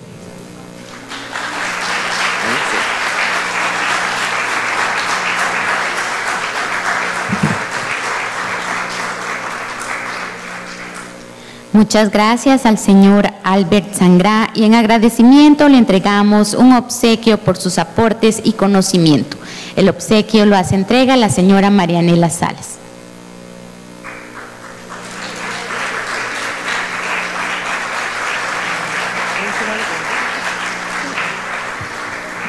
Eh, definitivamente queremos agradecerle su participación, don Albert. Yo creo que aquí eh, definitivamente hay una onda expansiva de conocimientos. Primero porque logramos conocer, digamos, cuál es la línea de don Albert y yo me imagino que ustedes querrán ir a leer todos sus libros y sus artículos y ahí está la primera onda. Y la segunda también que a mí se me antojó mucho es eh, tomar la presentación e ir buscando todas las citas. Entonces ya tenemos dos grandes tareas que sería yo creo que para por lo menos para tres meses o seis meses trabajar. Muchísimas gracias, don Andrés.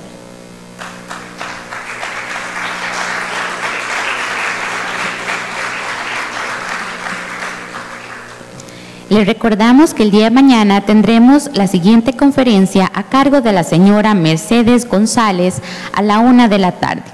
Muchas gracias por acompañarnos el día de hoy y quedan cordialmente invitados a un refrigerio en el comedor. Buen día.